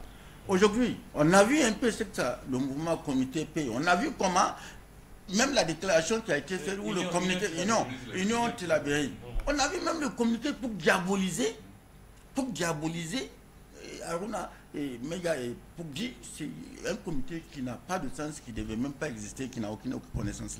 Eux, ils savent ce qu'ils vivent. Ils ont tenté de mobiliser. Et regardez comment le mouvement, on a tenté de le casser. Indépendamment de ça, même dans la région, souvent, quand les gens veulent manifester, c'est pas parce que. Quand il faut faire des mobilisations, il faut qu'il y ait forcément des leaders devant. C'est chose que. Alors, mais dans ce cas, ne, ne dis pas que.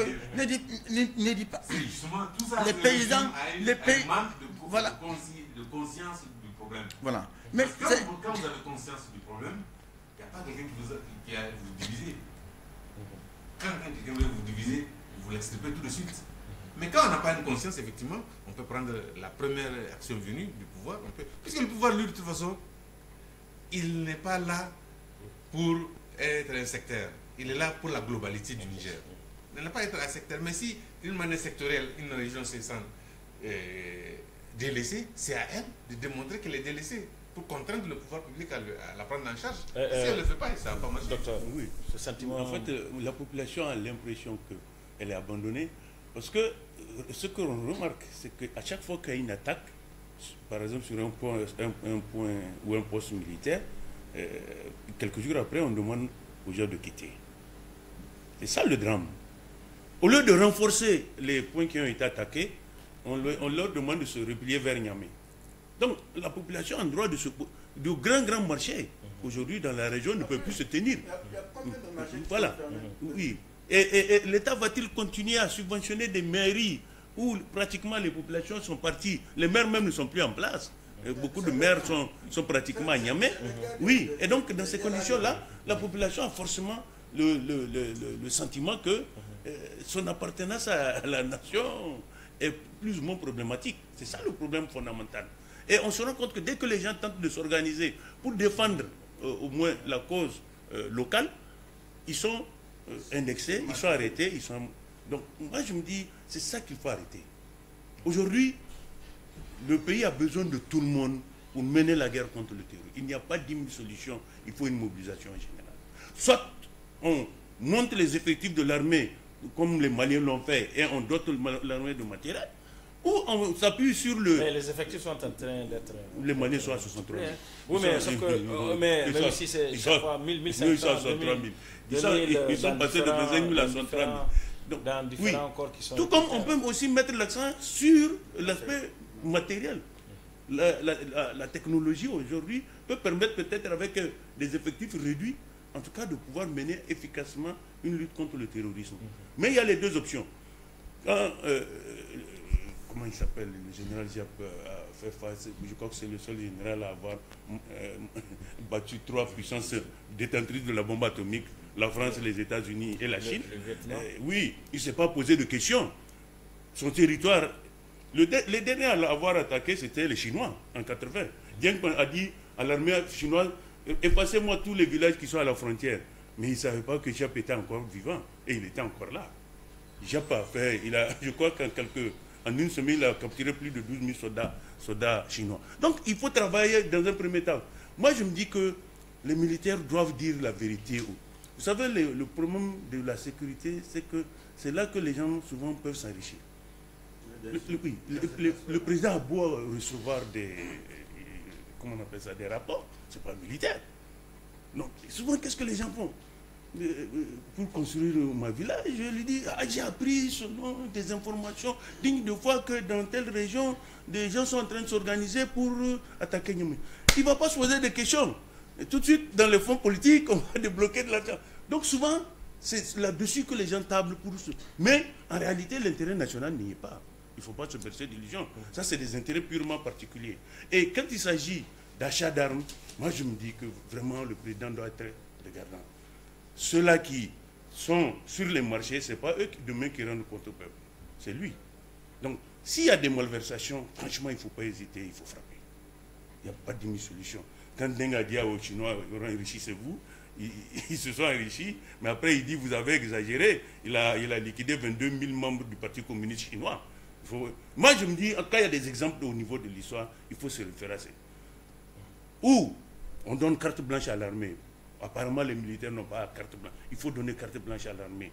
De collaborer avec les pays de, son choix. Ou alors, franchement, on, met en avant ce qu'on veut, mais véritablement, il faut que on puisse rétablir la situation sécuritaire, que les camions puissent nous approvisionner de manière tout à fait régulière et que sur là, que personne n'ait la crainte d'être attaqué ou en allant à Terra, ou en allant à Tilaberi, ou en allant à Torodi, ou en allant au-delà. Je pense que, sincèrement, ça là, c'est à notre portée, on n'a pas besoin de force étrangère. Ou ça là, franchement, on n'a pas besoin de force étrangère. Les, il y a certains des généraux hein, qui, qui, sont à la retraite là, qui ont été des, des élèves de JAP en, en Algérie. Moi, je pense qu'on peut faire appel à leur expérience. Sincèrement, je pense qu'actuellement, ceux-là qui dirigent les opérations, pour moi, de mon point de vue, sans vouloir les dénigrer, ils sont des Merci, euh, merci, euh, euh, docteur Bunti. Deuxième sous-thème de presse plus, loi électorale, le choix de l'argent. Une interrogation résumée ici par Boubacar Amadou, notre camarade de la rédaction, la télévision Boffer. Loi électorale, le choix de l'argent. Un avant-projet de proposition de révision du code électoral de la charte des partis politiques sur fond de financement des partis politiques. Voilà en fait d'où est partie la polémique. Sauf que le document et les propositions existent et elles sont réelles. Elles viennent d'un comité technique mis en place par le Premier ministre président du Conseil national du dialogue politique. Ok, disent les plus sceptiques, mais de quel but? Le dit comité aurait outrepassé ses missions d'accord, mais pourquoi et à la demande de qui?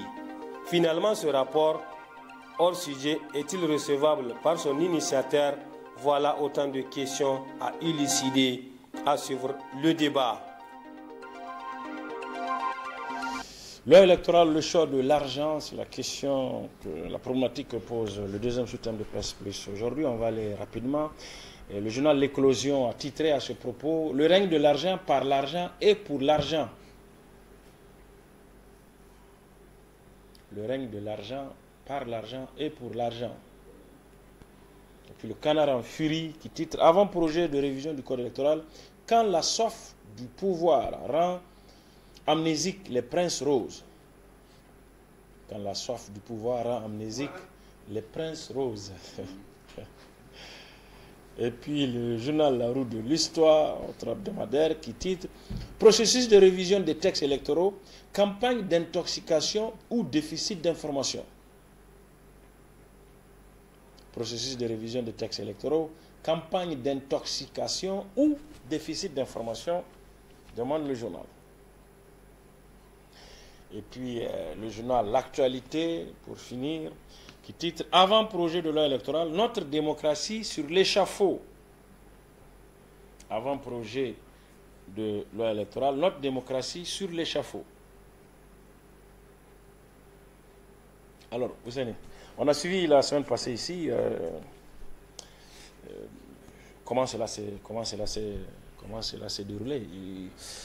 Les réflexions qu'on a qui ont été portées dans ce document sont des réflexions d'un comité de techniques mises en place par le président du CNDP, le Conseil national de dialogue politique, qui se trouve être le Premier ministre, chef du gouvernement, qui devrait plutôt réfléchir sur euh, l'organisation, le fonctionnement, les statuts de- du CNDP, notamment euh, les trois composantes du CNDP actuel qui devraient être ramenées à deux, opposition, majorité uniquement en faisant disparaître sa composante euh, parti non affiliée, et que ce comité aurait outrepassé sa mission pour euh, prendre euh, ces, ces- ces propositions-là qui ne font pas l'unanimité et qui, qui font débat, effectivement. Et, et comme l'a dit Bouka, notre camarade, euh, tout à l'heure, euh, dans, euh, dans ce résumé, la question aujourd'hui, c'est de savoir, bon, euh, c'est sur l'ordre d'équipe. Pourquoi ce comité a outrepassé ses, missions? Pour qu'elle pense qu'elle peut aller au-delà de ce qu'on lui a demandé Pourquoi a-t-elle touché à la, à- ou à la, loi- à la loi électorale? A-t-elle touché à la charte des partis politiques et au financement des partis politiques? Est-ce que ces, ces travaux-là, finalement, sont recevables? Puisque ce n'est pas ce qu'on lui a demandé. Justement, c'est ça. Quand les gens, parce que quand j'ai dit campagne, quand j'ai lu une campagne d'intoxication. Oui, euh, on hum. dirait comme ça. Mais alors, non, non, il ne faut pas quand les gens. Quand même. Attends, c'est des documents qu'on a distribués à tous les partis politiques ou pas. Ces documents sont issus de qui? De la commission, non? Alors, la commission, là, qui l'a mandaté à aller au-delà de ce qu'il devait faire comme travail? C'est bien un travail qu'il a produit, non? Un travail par rapport au code électoral où on dit qu'il faut payer 200 millions pour être candidat aux élections présidentielles. Il faut payer 50 millions par liste et par circonscription ordinaire et 25 millions par candidat au niveau des circonscriptions spéciales. Et au niveau des élections locales, il faut payer désormais 2 millions. Alors, qui l'a inventé? Alors, quand on dit, quand les gens veulent aujourd'hui se deviner pour dire qu'ils ne savent pas pourquoi la commission est allée dans tous les sens, il a voulu faire. Non, mais il ne faut pas, il faut pas, il faut pas insulter l'intelligence des Nigériens. C'est parce que la commission a dû recevoir des instructions pour aller au-delà de ce qu'ils devaient faire. Je ne vois pas qu'est-ce qui va les pousser à vouloir faire autre chose. Parce qu'ils sont, normalement, dans ce genre de travail, ils doivent régulièrement rendre compte, je passe sous le contrôle de Tradam, régulièrement ils doivent rendre compte au président, de, de- comment avait dit, le président du CNDP par rapport à l'évolution du travail. Dès qu'ils ont commencé, ils ont fini le premier aspect, c'est-à-dire l'aspect concernant le CNDP, ils devaient pouvoir arrêter, n'est- n'est-ce pas? Ils ont fini leur travail, ils remettent le document. Mais ils n'ont pas allé au-delà, s'ils n'ont pas reçu une instruction quelconque quelque part. Non, non, Est-ce que. C'est même un cas de discipline. Ça fait tellement rire. Non, ça veut dire que maintenant, sur le tard, on veut faire croire. Ah non, c'est que parce que le comité, c'est une patriote nationaliste qu'il a décidé, en prenant sur lui la, la responsabilité et alléger le travail. Et on- il fait tout, en même temps, on remet tout et puis on va Mais débattre. le comité n'est en rien responsable.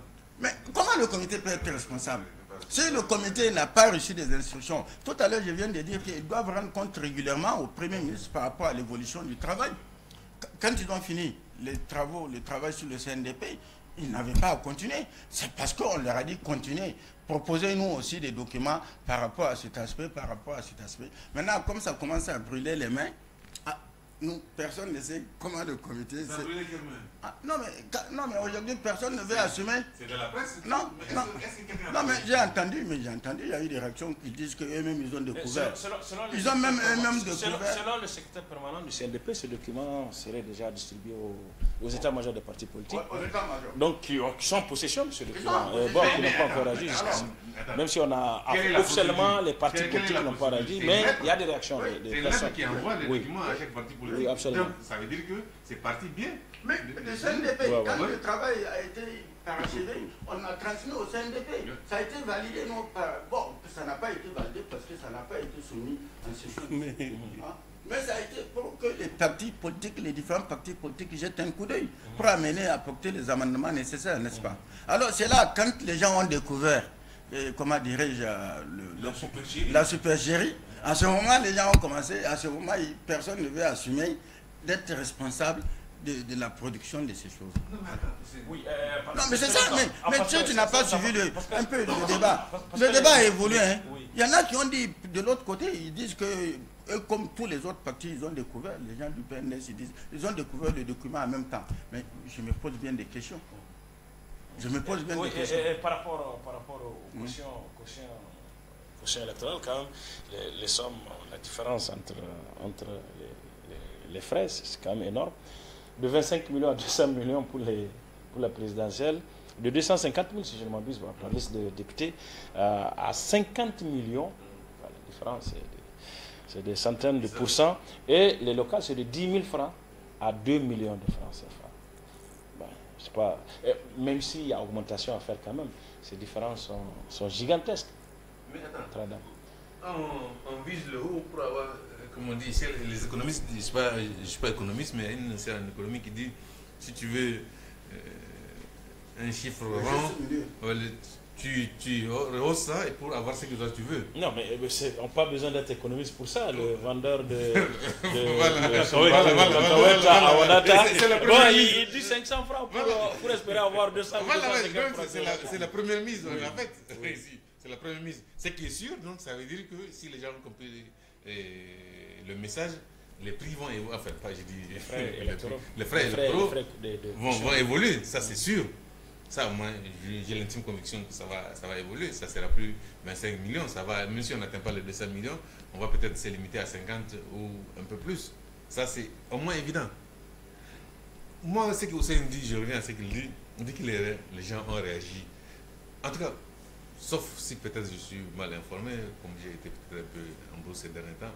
Mais en tout cas, je n'ai pas, pas vu une quelconque, euh, même si un simple communiqué, du PNDS lui-même Oui, pas du parti politique. Mais, mais, l'un des communicateurs euh, officiels du, du, PNDS a réagi, notamment à Sani Hirosani. Oui, par rapport à ça. effectivement, il n'a pas. pas il ne parle pas du PNDS par rapport à ça, effectivement. Mm. C'est un comité du CNDP et que ce n'est pas le PNDS euh, qui, est, qui est à la base ou à la manœuvre. Même si pour lui, bon, euh, il y a trop de partis politiques qu'il faut mettre, qu'il faut mettre euh, de l'ordre dans tout ça. Mais euh, ça ne vient pas du PNS. Mais donc, il vous a dit l'objectif, mm. déjà. Si, si c'est ça qu'il a dit, mm. euh, textuellement. Non, ça pas, dit... pas, pas, textuellement. Ah, oui, non. Mais tu dis qu'il qu y a beaucoup de partis qui mettre de l'ordre. Non, oui, voilà, il dit que politiquement. Oui, quelque part, pour mettre de l'ordre, aujourd'hui, il faut avoir une enveloppe, une caution qui puisse pas permettre à certains qui sont juste un parti entre eux et leur famille. Ça, c'est évident. Donc, et qui peut être euh, bénéficiaire de ça? Quant à Kala il a dit carrément que cela ne venait pas du. Non, personne n'a dit que non. Attendez, mm-hmm. enfin, moi, je ne suis pas sûr que quelqu'un ait dit que c'est le PNDS qui veut ça. Mais parce que euh, on pense qu'aujourd'hui, sur la place publique, sur la place politique de Niamey ou du Niger de manière générale, il n'y a que lui seul qui peut qui puisse répondre à ces critères. C'est ça. C'est par rapport à ça que les gens disent. Même le Ménézé et Jamouria ne peuvent pas. Si les cautions sont maintenues, il ne peut pas. C'est parce que c'est le PND, c'est pourquoi il est accusé. Peut-être. Mais aussi, il est accusé parce que. Il est accusé aussi. Laisse-moi finir. Il est accusé aussi, peut-être parce que c'est quand même un de ses membres fondateurs qui est président, qui est premier ministre président du CNDP. Et il ne peut pas dire que il a laissé faire le comité pour aller. Parce que jusqu'à présent, moi, c'est ça qui me surprend. Quand les gens disent que les partis, ben, certains ont réagi, non, c'est pas à eux de réagir. C'est le CNDP, le président du CNDP, qui devait même, à la limite, dissoudre ce comité pour le sanctionner, pour avoir. Puisque le comité passer ce qu'il doit faire. et qu'il est en train de mélanger les gens. Oui, il est en train de vouloir mélanger les gens. On doit pouvoir même mettre fin à ça et puis créer une. Mais, puisque rien n'a été fait, on a même écrit. C'est lui qui écrit. Hein. Mhm. C'est le CNDP qui soumet une lettre à sa signature pour transmettre c'est au différent, ce contenu-là. Le, projet, le projet, le projet donc, il a vu ce contenu lui-même mhm. pour le transmettre aux gens. Donc, on ne peut pas dire qu'ils ne sont pas au courant. Et il l'a cautionné. Il l'a cautionné. Il n'est pas chef du PNDS, c'est vrai, mais il a cautionné puisqu'il a apposé sa signature sur la transmission de ce document, il l'a vu. Mhm. Donc, on ne peut pas dire ça. Et quelque part, quoi qu'on dise, c'est eux qui seront les bénéficiaires. Et moi, je dis, il faut que les gens soient quand même rétrospectifs dans leur tête. Le PNDS, si vous vous rappelez, il y a eu un moment où les gens ont dit non, que c'est même du blasphème, quand ils ont, il y a eu un comité qui devait être mis en place sous la présidence de Moussaoudou qui aurait décliné l'offre à l'époque, de réfléchir pour voir comment maintenir le pouvoir. Je ne sais pas si vous vous rappelez, 30 ans. Je ne sais pas si vous vous rappelez de ce comité qui a été. Mm-hmm. Et donc Moussaoudou a dit non, qu'il ne sera pas en tête de ça. Donc quelque part, il y a un objectif, le PNDES a envie Et c'est humain, moi je pense. Mhm. Si les gens ne font rien pour s'opposer euh, à lui, mais c'est normal que lui, il crée les conditions pour être demain à mesure de ne pas pouvoir avoir des, des- comme ça, des, des substrats avec lui, comme le de- pour composer sa majorité. Mhm. C'est humain, moi je pense.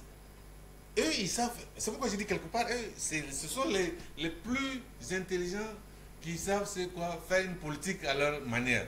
Et ils n'ont pas besoin de quelqu'un. Ils savent que composer avec une, euh, comme ça, une majorité comme ça, vous avez toujours la possibilité d'être chanté. Mais si c'est vous seul qui, qui gérez, vous êtes intrinsèquement responsable de tout ce qui advient. Et c'est ça qu'ils sont en train de vouloir faire. Ils n'ont pas besoin d'avoir à l'Assemblée un président de l'Assemblée nationale qui n'est pas de leur bord.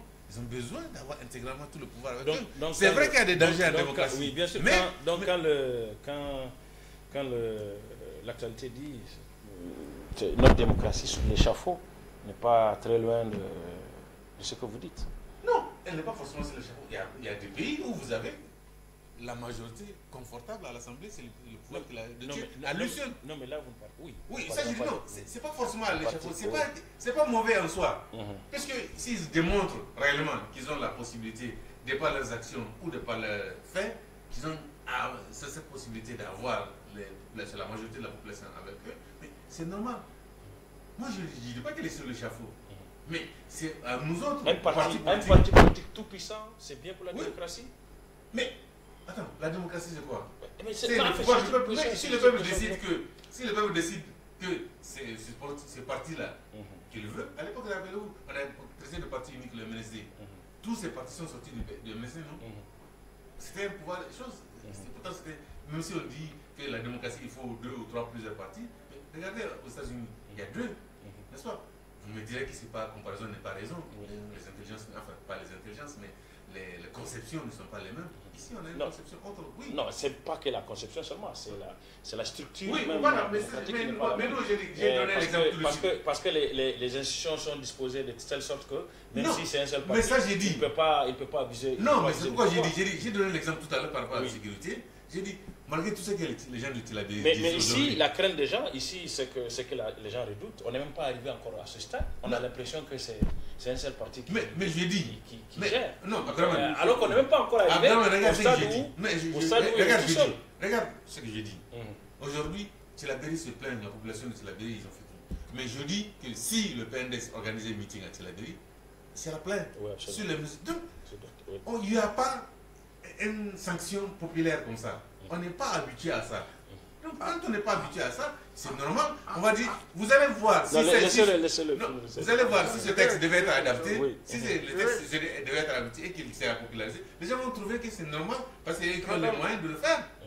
Il faut tenir compte de la mentalité rurale au niveau de, de, de, de la ruralité au Niger pour, pour composer. Les gens pensent que non, la politique aujourd'hui, la démocratie a démontré que c'est pas l'intelligence, c'est pas euh, le savoir-faire, c'est beaucoup plus l'argent. Quand vous partez dans les bourses, les gens vous dénigrent malgré tout, mais dès que vous venez avec votre argent, passez. Et les gens s'alignent devant les D'accord, mais, mais, mais, mais ce n'est pas pourtant, pour autant que c'est la démocratie. Non, Oui. pour le moment c'est ça, la, la- la démocratie un peu à l'africaine. C'est ça qu'on appelle sur le tropique, non? Ouais. C'est ça que les, pour nous insulter, on dit. Ouais, Mais ouais. malheureusement, nous, on ne fait rien.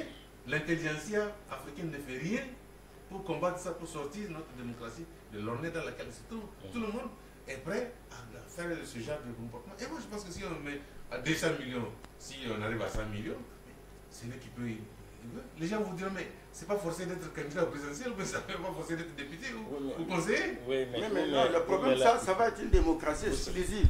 Une démocratie où seuls les gens qui ont de l'argent peuvent prétendre, même s'ils sont mauvais, même s'ils sont mauvais, ils vont se maintenir au pouvoir de manière éternelle. Surtout dans nos pays où le jeu n'est pas fait de manière transparente.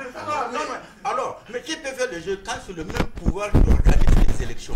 C'est ça le danger. Ça veut dire qu'on va mettre une, une disposition où les citoyens, même quand ça ne va pas, ceux qui sont au pouvoir, même s'ils gèrent mal, c'est eux toujours qui vont être reconduits parce que c'est eux seuls qui ont l'argent. Et, et ceux qui sont, et ceux qui Eh, ont l'argent eh, ne sont pas forcément les plus nombreux. eh, donc, eh, euh, donc ce n'est pas, ce n'est pas, ce n'est pas la règle du nombre. Non, ça. mais non, ils Hein, vont continuer, ils vont continuer, ils vont continuer à s'enrichir Oui. et en même temps maintenir le peuple, non seulement dans la pauvreté, l'ignorance et tout ce que vous voulez, mais ce que personne ne peut les déloger. En tout cas, il n'y aura plus de changement, d'alternance. La démocratie, la vertu de la démocratie n'est de vertu sur le pouvoir, au peuple de pouvoir sanctionner celui qui gère mal on voit comment les choses se passent. Non, mais, c'est ça. Mais c'est un peu le jeu. Non, mais c'est certainement. Non, mais vous avez vu l'écologie. Peut-être c'est un peu le jeu de mots que l'écologie a fait.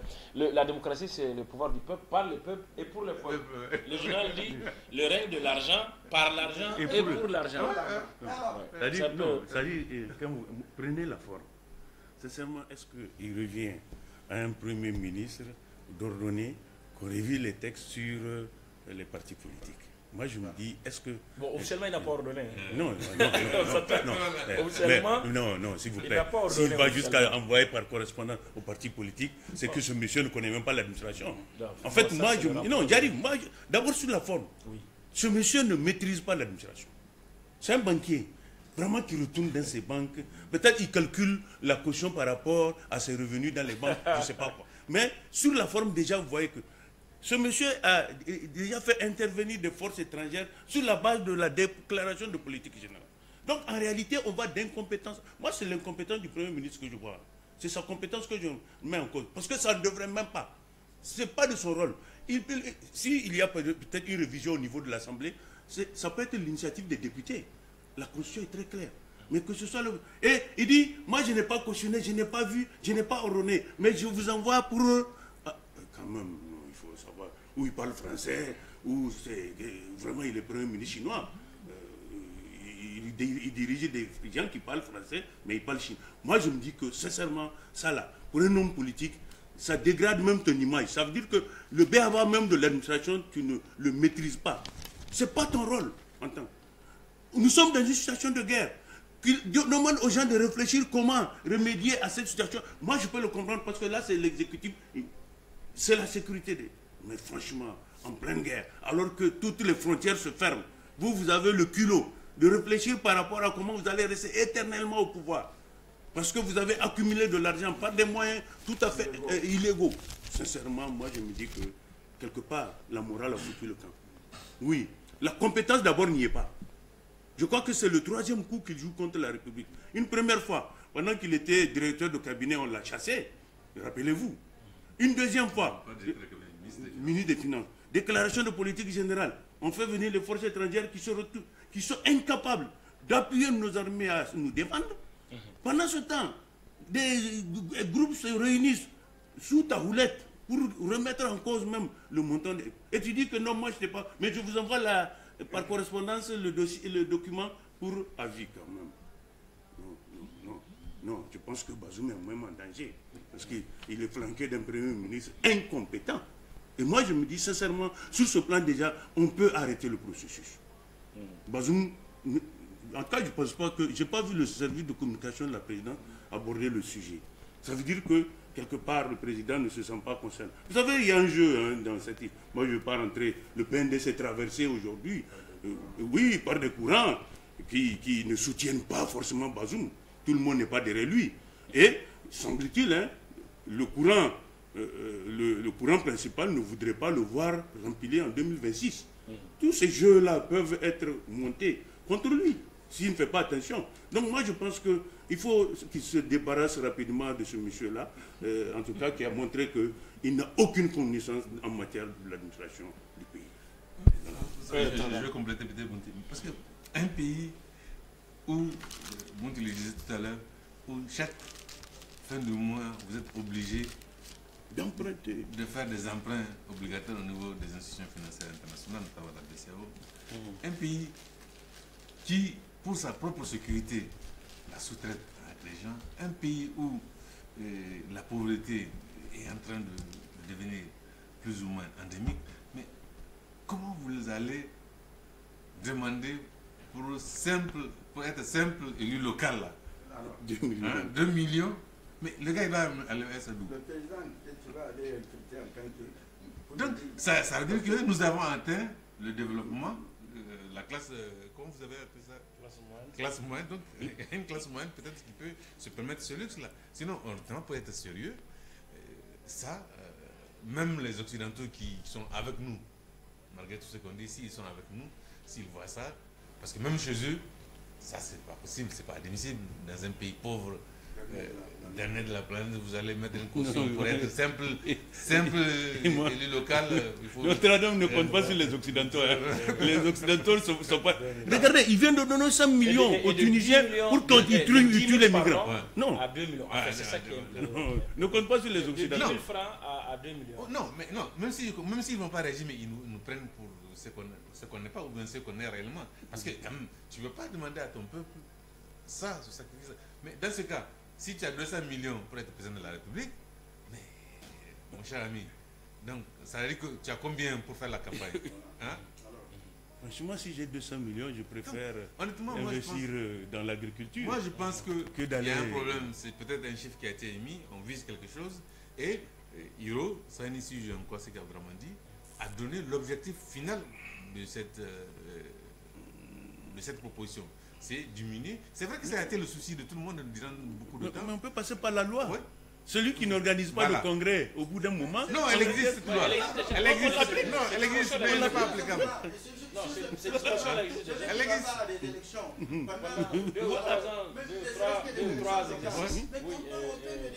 Nous sommes débarrassés de lui. Non. C'est des dispositions légales. oui. Mais... Besoin de passer par l'argent. Parce que quand on regarde dans les rétroviseurs, eux, à une époque, ils dénonçaient. Quand, je me rappelle, à ce moment, ils étaient carrément les frondeurs contre une quelconque augmentation non, des non, mais les, les propositions là, c'est voilà. enfin, je ne dirais pas la totalité, mais presque toutes ces propositions viennent du, du PNDS en fait les 10 000 francs pour les, les frais oui, oui, oui, oui, oui, par liste, à ça, ça, vient. Ça Alors, c'était pour permettre aux citoyens justement, parce que vous voyez là où c'est un peu scandaleux, quand on dit, parce que les élus locaux, le, moi j'ai un président, mais qui est écouté au niveau de la localité, où est-ce qu'il peut mobiliser? Si je lui dis même d'amener 50 000 prêtres sur la liste, parce que j'ai un parti politique, où est-ce qu'il va trouver ça? Alors, mais, non, mais comment je vais... Non, non, mais je vais dire non, c'est les partis alors. Mais quand, quand on se met dans cette, euh, comment dire, dans cette logique où 200 millions pour la présidentielle, 50 millions, mais alors, quel est le parti, quel est le seul parti? Et quand on dit en plus que les partis doivent être présents dans les 265 communes du pays, alors ça pose un problème. Parce que vous, vous avez eu le temps de vous implanter partout avec l'argent. Vous considérez que tout le monde doit être dans la même. Alors, ça pose un sérieux problème. ça... Non, je suis en train de dire. Mais ça, c'est normal. Moi, mais, sur ce plan-là, moi, je ne suis pas contre. Non, non, non. L'idéal. L'idéal. C'est un parti. C'est un parti. Non, non, on ne détruit pas. Partout? Aujourd'hui parce qu'on a atteint un certain niveau. Non, ce n'est pas une question de destruction. Non, mais un parti à sa naissance ne peut pas forcément être représenté. Oui, mais un parti à terme, il faut qu'il soit. Tous les partis, c'est comme ça. Mais on ne peut pas refuser aux autres le truc qu'on a. Et puis, les faveurs qu'on a les dispositions Jusqu'ici, il est refusé. Mais on se rend compte que même dans ceux qui est constitué comme étant son fief, il a fallu voler un million de voix pour passer. Donc ça veut dire qu'en réalité, eux-mêmes ne sont pas représentatifs sur les 265 communes. Il faut, il faut, il faut qu'on se dise les quatre vérités. Ces gens-là, on était ensemble à la CFDR on, on, prenait crédit de 10 000, 10 000 euh, dans la caisse pour... Non, non, non, voilà. non, non, en fait, non, on ne dit pas être représentatif, hein. on dit être représenté. Représenté, oui. Donc, euh, ça doit être physiquement présent. Oui, physiquement, euh, oui. Un siège avec un bureau local, etc. Qui a, qui a les sous pour ça, là? Bon, bon les, gens peuvent être membres du bureau sans payer les sous. Oui, mais, mais, Quand on était ensemble, ils avaient leur bidon. Non, Moi, je ne suis jamais tombé en panne des centres. Non, non, en fait, la plupart de ces discussions concernant le charte des partis politiques, quand même, existe. Hein, mais elle existe, mais on, mais on. On, on, a trouvé que le côté pécunier, il est plus, il est plus, si tu veux, il est plus incisif. Tout de suite, ça, ça, ça, ça découvre. Parce que le plus souvent, ils ne profitent pas. Ils peuvent cautionner. Ce qui gêne un peu ici, c'est que ça montre simplement que, bon, euh, c'est quand on est au pouvoir qu'on a l'argent. Politiques. Les gens se sont enrichis. Quand ils sont au pouvoir. Mais non, non, je dis, en fait, c'est ça qui gêne un peu. Euh, mais attends, mais c'est, je, suis étonné que c'est maintenant que tu découvres non, ça. Pas que je mais depuis un certain temps, aujourd'hui... on le sait, non, mais on le sait, mais sauf que ça, là, ça met un peu plus en lumière euh, cette, euh, cette, cette, mais vous savez, pourquoi les gens, pourquoi les gens, tout le monde veut créer un parti quand, un parti est au pouvoir, c'est tout à fait normal qu'il mobilise qu'il soit capable de mobiliser autant de sous. Vous savez, ça, là, ça pose un peu la problématique même de l'existence de l'État. Ça veut dire que les partis ne sont pas au pouvoir, hmm? n'ont pas le droit d'exister. Non, non, en plus, c'est que, Abdelman, ce qu'il faut préciser. bon, ça, c'est pas. Non, pas la ce qu'il faut démocratie. préciser, c'est qu'il n'y a qu'en Afrique où. Non, c'est qu'il n'y a qu'en Afrique La démocratie prévoit des partis au pouvoir et Non. des partis qui ne sont pas au pouvoir. Non. Mais oui. Qui doivent être capables de vivre vraiment. euh, Il y en a qui reçoivent même des subventions. Attendez, Ça veut dire que vous, vous, êtes des mauvais juges. Ah. Oui, parce que mais regardez. fait, je jugerais- Non, mais, je non, mais regardez, l'État lui-même, l'État lui-même, dans ce texte, il a prévu tout ce qu'on a dit. Absolument. Regardez, même sur l'aspect pécunier et financier, l'État a prévu que tout parti politique qui est représenté à, à l'Assemblée, il est subventionné. Ça fait combien d'années on n'a pas subventionné les gens? Ça fait combien d'années? Les gens ont dit 3-4 ans qu'ils n'ont pas eu les subventions. Qui a parlé? Non, peut-être que c'est compte tenu de la situation sécuritaire. Les partis ne sont pas aussi gloutons que ça. Les autres partis. C'est moi qui tu évoques le, Mais j'aurais dit, si c'est ça, si c'est- si c'est le côté sécuritaire là, moi j'aurais, je serais très, j'applaudirais de demain si tous les partis qui doivent bénéficier se réunissent, font une lettre à l'État pour dire c'est leur effort de guerre, leur contribution à l'effort de guerre. Je peux comprendre ça. On finit, on prend- Merci, merci Hussein, merci Hussein, merci Hussein, merci Hussein, merci Hussein, merci. On, on finit avec euh, ce qu'on a, qu'on a dit là. Pablo, oui, un peu. euh, je vous fais voir euh, deux titres. C'est cette, semaine, c'est des titres de, de quotidiens, notamment des journaux, des journaux quotidiens. D'abord le Renouveau euh, qui titre donc Fini Foot, vraie crise du football ou procès d'intention au colonel-major Pelé. Vraie crise ou mauvais procès fait au colonel Pelé. Colonel-major Pelé s'entend. Donc ça c'est la une du journal Le Renouveau. euh, et puis euh, le- l'enquêteur, l'enquêteur qui titre euh, toujours par rapport à ce débat, et là en parlant du président de la Fédération nigérienne de football, colonel-major Pelé, un leadership flamboyant pour le foot nigérien. Colonel-major Pelé, un leadership flamboyant pour le foot nigérien. C'est ça, rapidement. C'est vrai que depuis les dernières Moi, campagnes. je sais même pas c'est quoi. Qu'est-ce qui a depuis les dernières campagnes des équipes nationales, notamment De- de- MENA A, MENA Chan, MENA U23, Ils étaient au depuis les dernières campagnes, oh oui, donc ça, ça, ça soulevait tout ce. Tout ce Ah, c'est suite à un peu, comme avait dit, aux défaites en, en, en, en cours de route. ah. Oui, Bon, en fait, moi, c'est ça, je ça qu'on. Moi, je me dis, c'est pas sur la base de ça qu'on peut juger. En tout cas, il y a eu quand même, ces dernières années, j'ai dit, il y a eu un travail qui a été fait remarquable parce qu'on est arrivé à des niveaux qu'on n'a jamais connus auparavant. Moi, j'ai dit, il faut saluer quand même les gens qui sont là, qui ont pu faire ce travail. Je ne vois pas pourquoi sortir subitement. Ça fait des années que notre foot, ça connaît de hauts et de bas. Un temps, ça monte et puis après, ça s'écroule. Moi, j'ai dit, il faut créer les conditions pour que ça puisse se stabiliser à partir d'un certain moment donné pour pouvoir continuer et ne plus redescendre. C'est ça le plus important. Mais s'en prendre à un individu, parce que moi j'ai dit, c'est pas l'affaire d'un seul individu, c'est l'affaire de, de machin. Parce que le foot, c'est une équipe. Que ce soit quand on prend l'encadrement, quand, quand, quand on prend les joueurs, c'est c'est un ensemble, c'est un dispositif. On ne peut pas réduire, comment dire, ce qui se passe à, à la dimension d'un seul individu. Les Ça gens parlent déjà de crise. Est-ce qu'on peut parler de crise? Ah non, moi je vois pas. Qu'est-ce que, qu'est-ce que, où est la crise? Moi je vois, j'en vois pas. Je ne connais pas. En tout cas, je n'ai pas entendu, en dehors de ce que vous venez de lire là, je n'ai pas vu dans un autre média ou même sur les radios ou les télés un débat autour de la question. Mais sur oui, sur les réseaux sociaux, les- sur les réseaux sociaux, le- les débats, les débats fait rage, euh, en tout cas par rapport à ce sujet très là. Non, le débat beau faire rage sur les réseaux sociaux, tant que, comme il a dit, ce n'est pas les médias euh, traditionnels, euh, on ne se rend pas compte.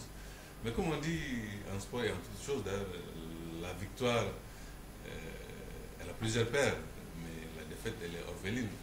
On ne verra jamais ce qui a été fait en amont, tout le travail qui a été fait, tant que ce n'est pas la victoire finale euh, que les gens attendent. Donc moi je pense que c'est parler de crise, je ne vois pas les débuts d'une crise, tous les clubs. En tout cas, je ne suis pas un spécialiste euh, du football, mais je crois savoir que le championnat n'a pas de problème. Le championnat national n'a pas de problème. Les gens ils jouent, ils se déplacent euh, comme, il est- comme il a été programmé. Nous ne sommes pas interdits au niveau international par rapport à une compétition. Je ne- enfin, en tout cas, j'ai pas ouï dire en tout cas. Et j'ai pas entendu aussi euh, au niveau du Conseil fédéral de la fédération elle-même des voix discordantes euh, sur les médias par rapport à la gestion qui est faite. Donc moi je pense que parler de crise, crise c'est un gros mot.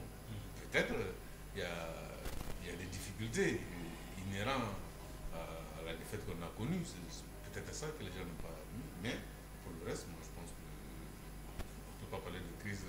Si déjà on est dans une crise sécurité, si on va parler encore d'une crise footballistique ou la guerre.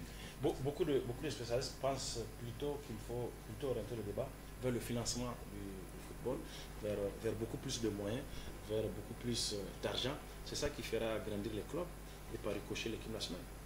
Mais quand vous avez un, bon championnat, et puis je sais que je pense que moi, les gens font un peu de la manga. Le Niger euh, n'est pas un pays normal pour le moment.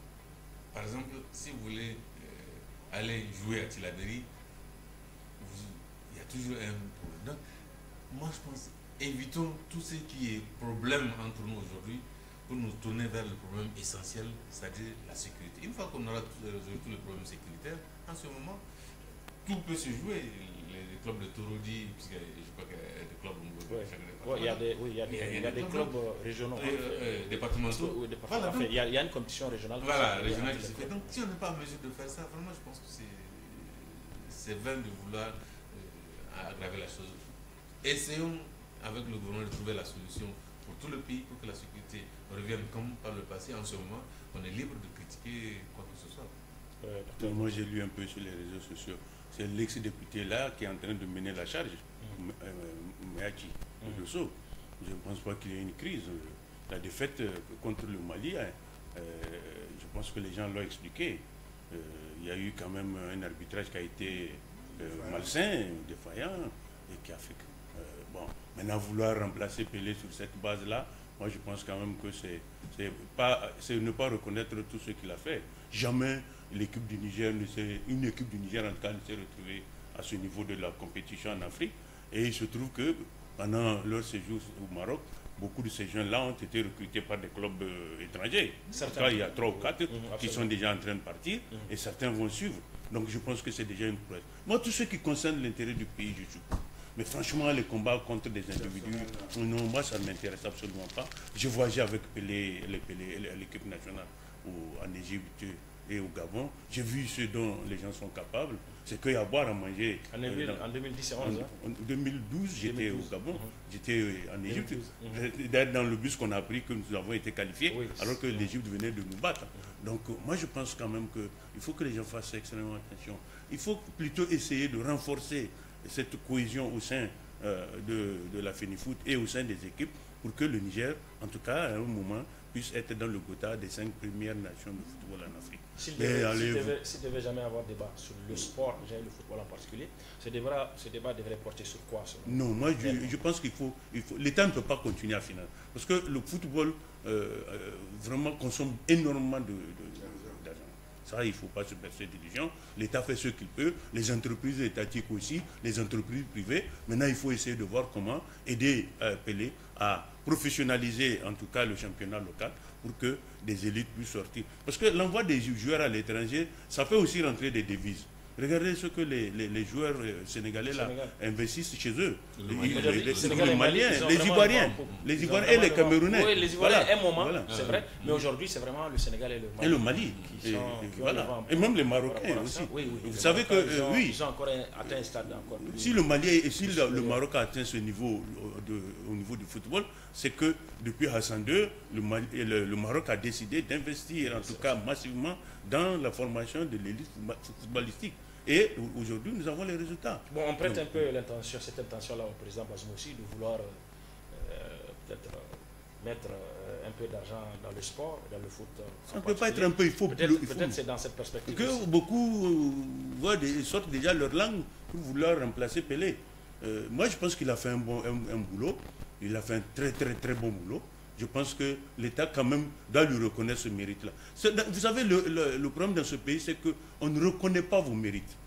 Regardez, Dabouré, oui, Dabouré, c'est à quelques pas de sa mort que les gens se sont rappelés qu'en 67, il était au Mexique et qu'il a rapporté la première médaille de bronze au pays. Non, c'est pas, c'est pas à quelque part. C'est parce qu'il y a eu, c'est parce qu'il y a eu, l'autre Voilà. Donc, Il faut reconnaître. Voilà. Donc, dans le sillage, on l'a entraîné. Alors qu'on aurait dû, de son vivant, pendant qu'il était là avec ses forces et tout, on aurait pu le. vous voyez souvent, moi je suis peiné quand je vois nos footballeurs qui ont porté le moyen de l'équipe nationale. Dans une, non, moi ça ne, ça ne, me réjouit pas, hein, pas du tout. Je suis, je suis, euh, comment on appelle Je suis euh, embêté quand je les vois dans certaines situations. Alors que l'État aurait, même nos lutteurs, Souvent, ils sont laissés à l'abandon. Pourquoi? Gens, ils ont porté le, maillot national. Ils ont lutté pour le pays. en tout cas, moi, je me dis, la moindre des choses, c'est que ceux qui, ont ceux qui sont arrivés à un certain niveau, on peut faire d'eux des, entraîneurs au niveau des régions.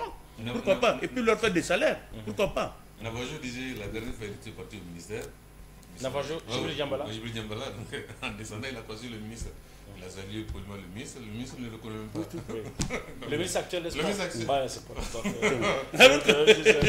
non, non, pas, pas, le, pas de Ah, voilà, parce que là, c'est Non, non, c'est, je crois. Le jeune, là.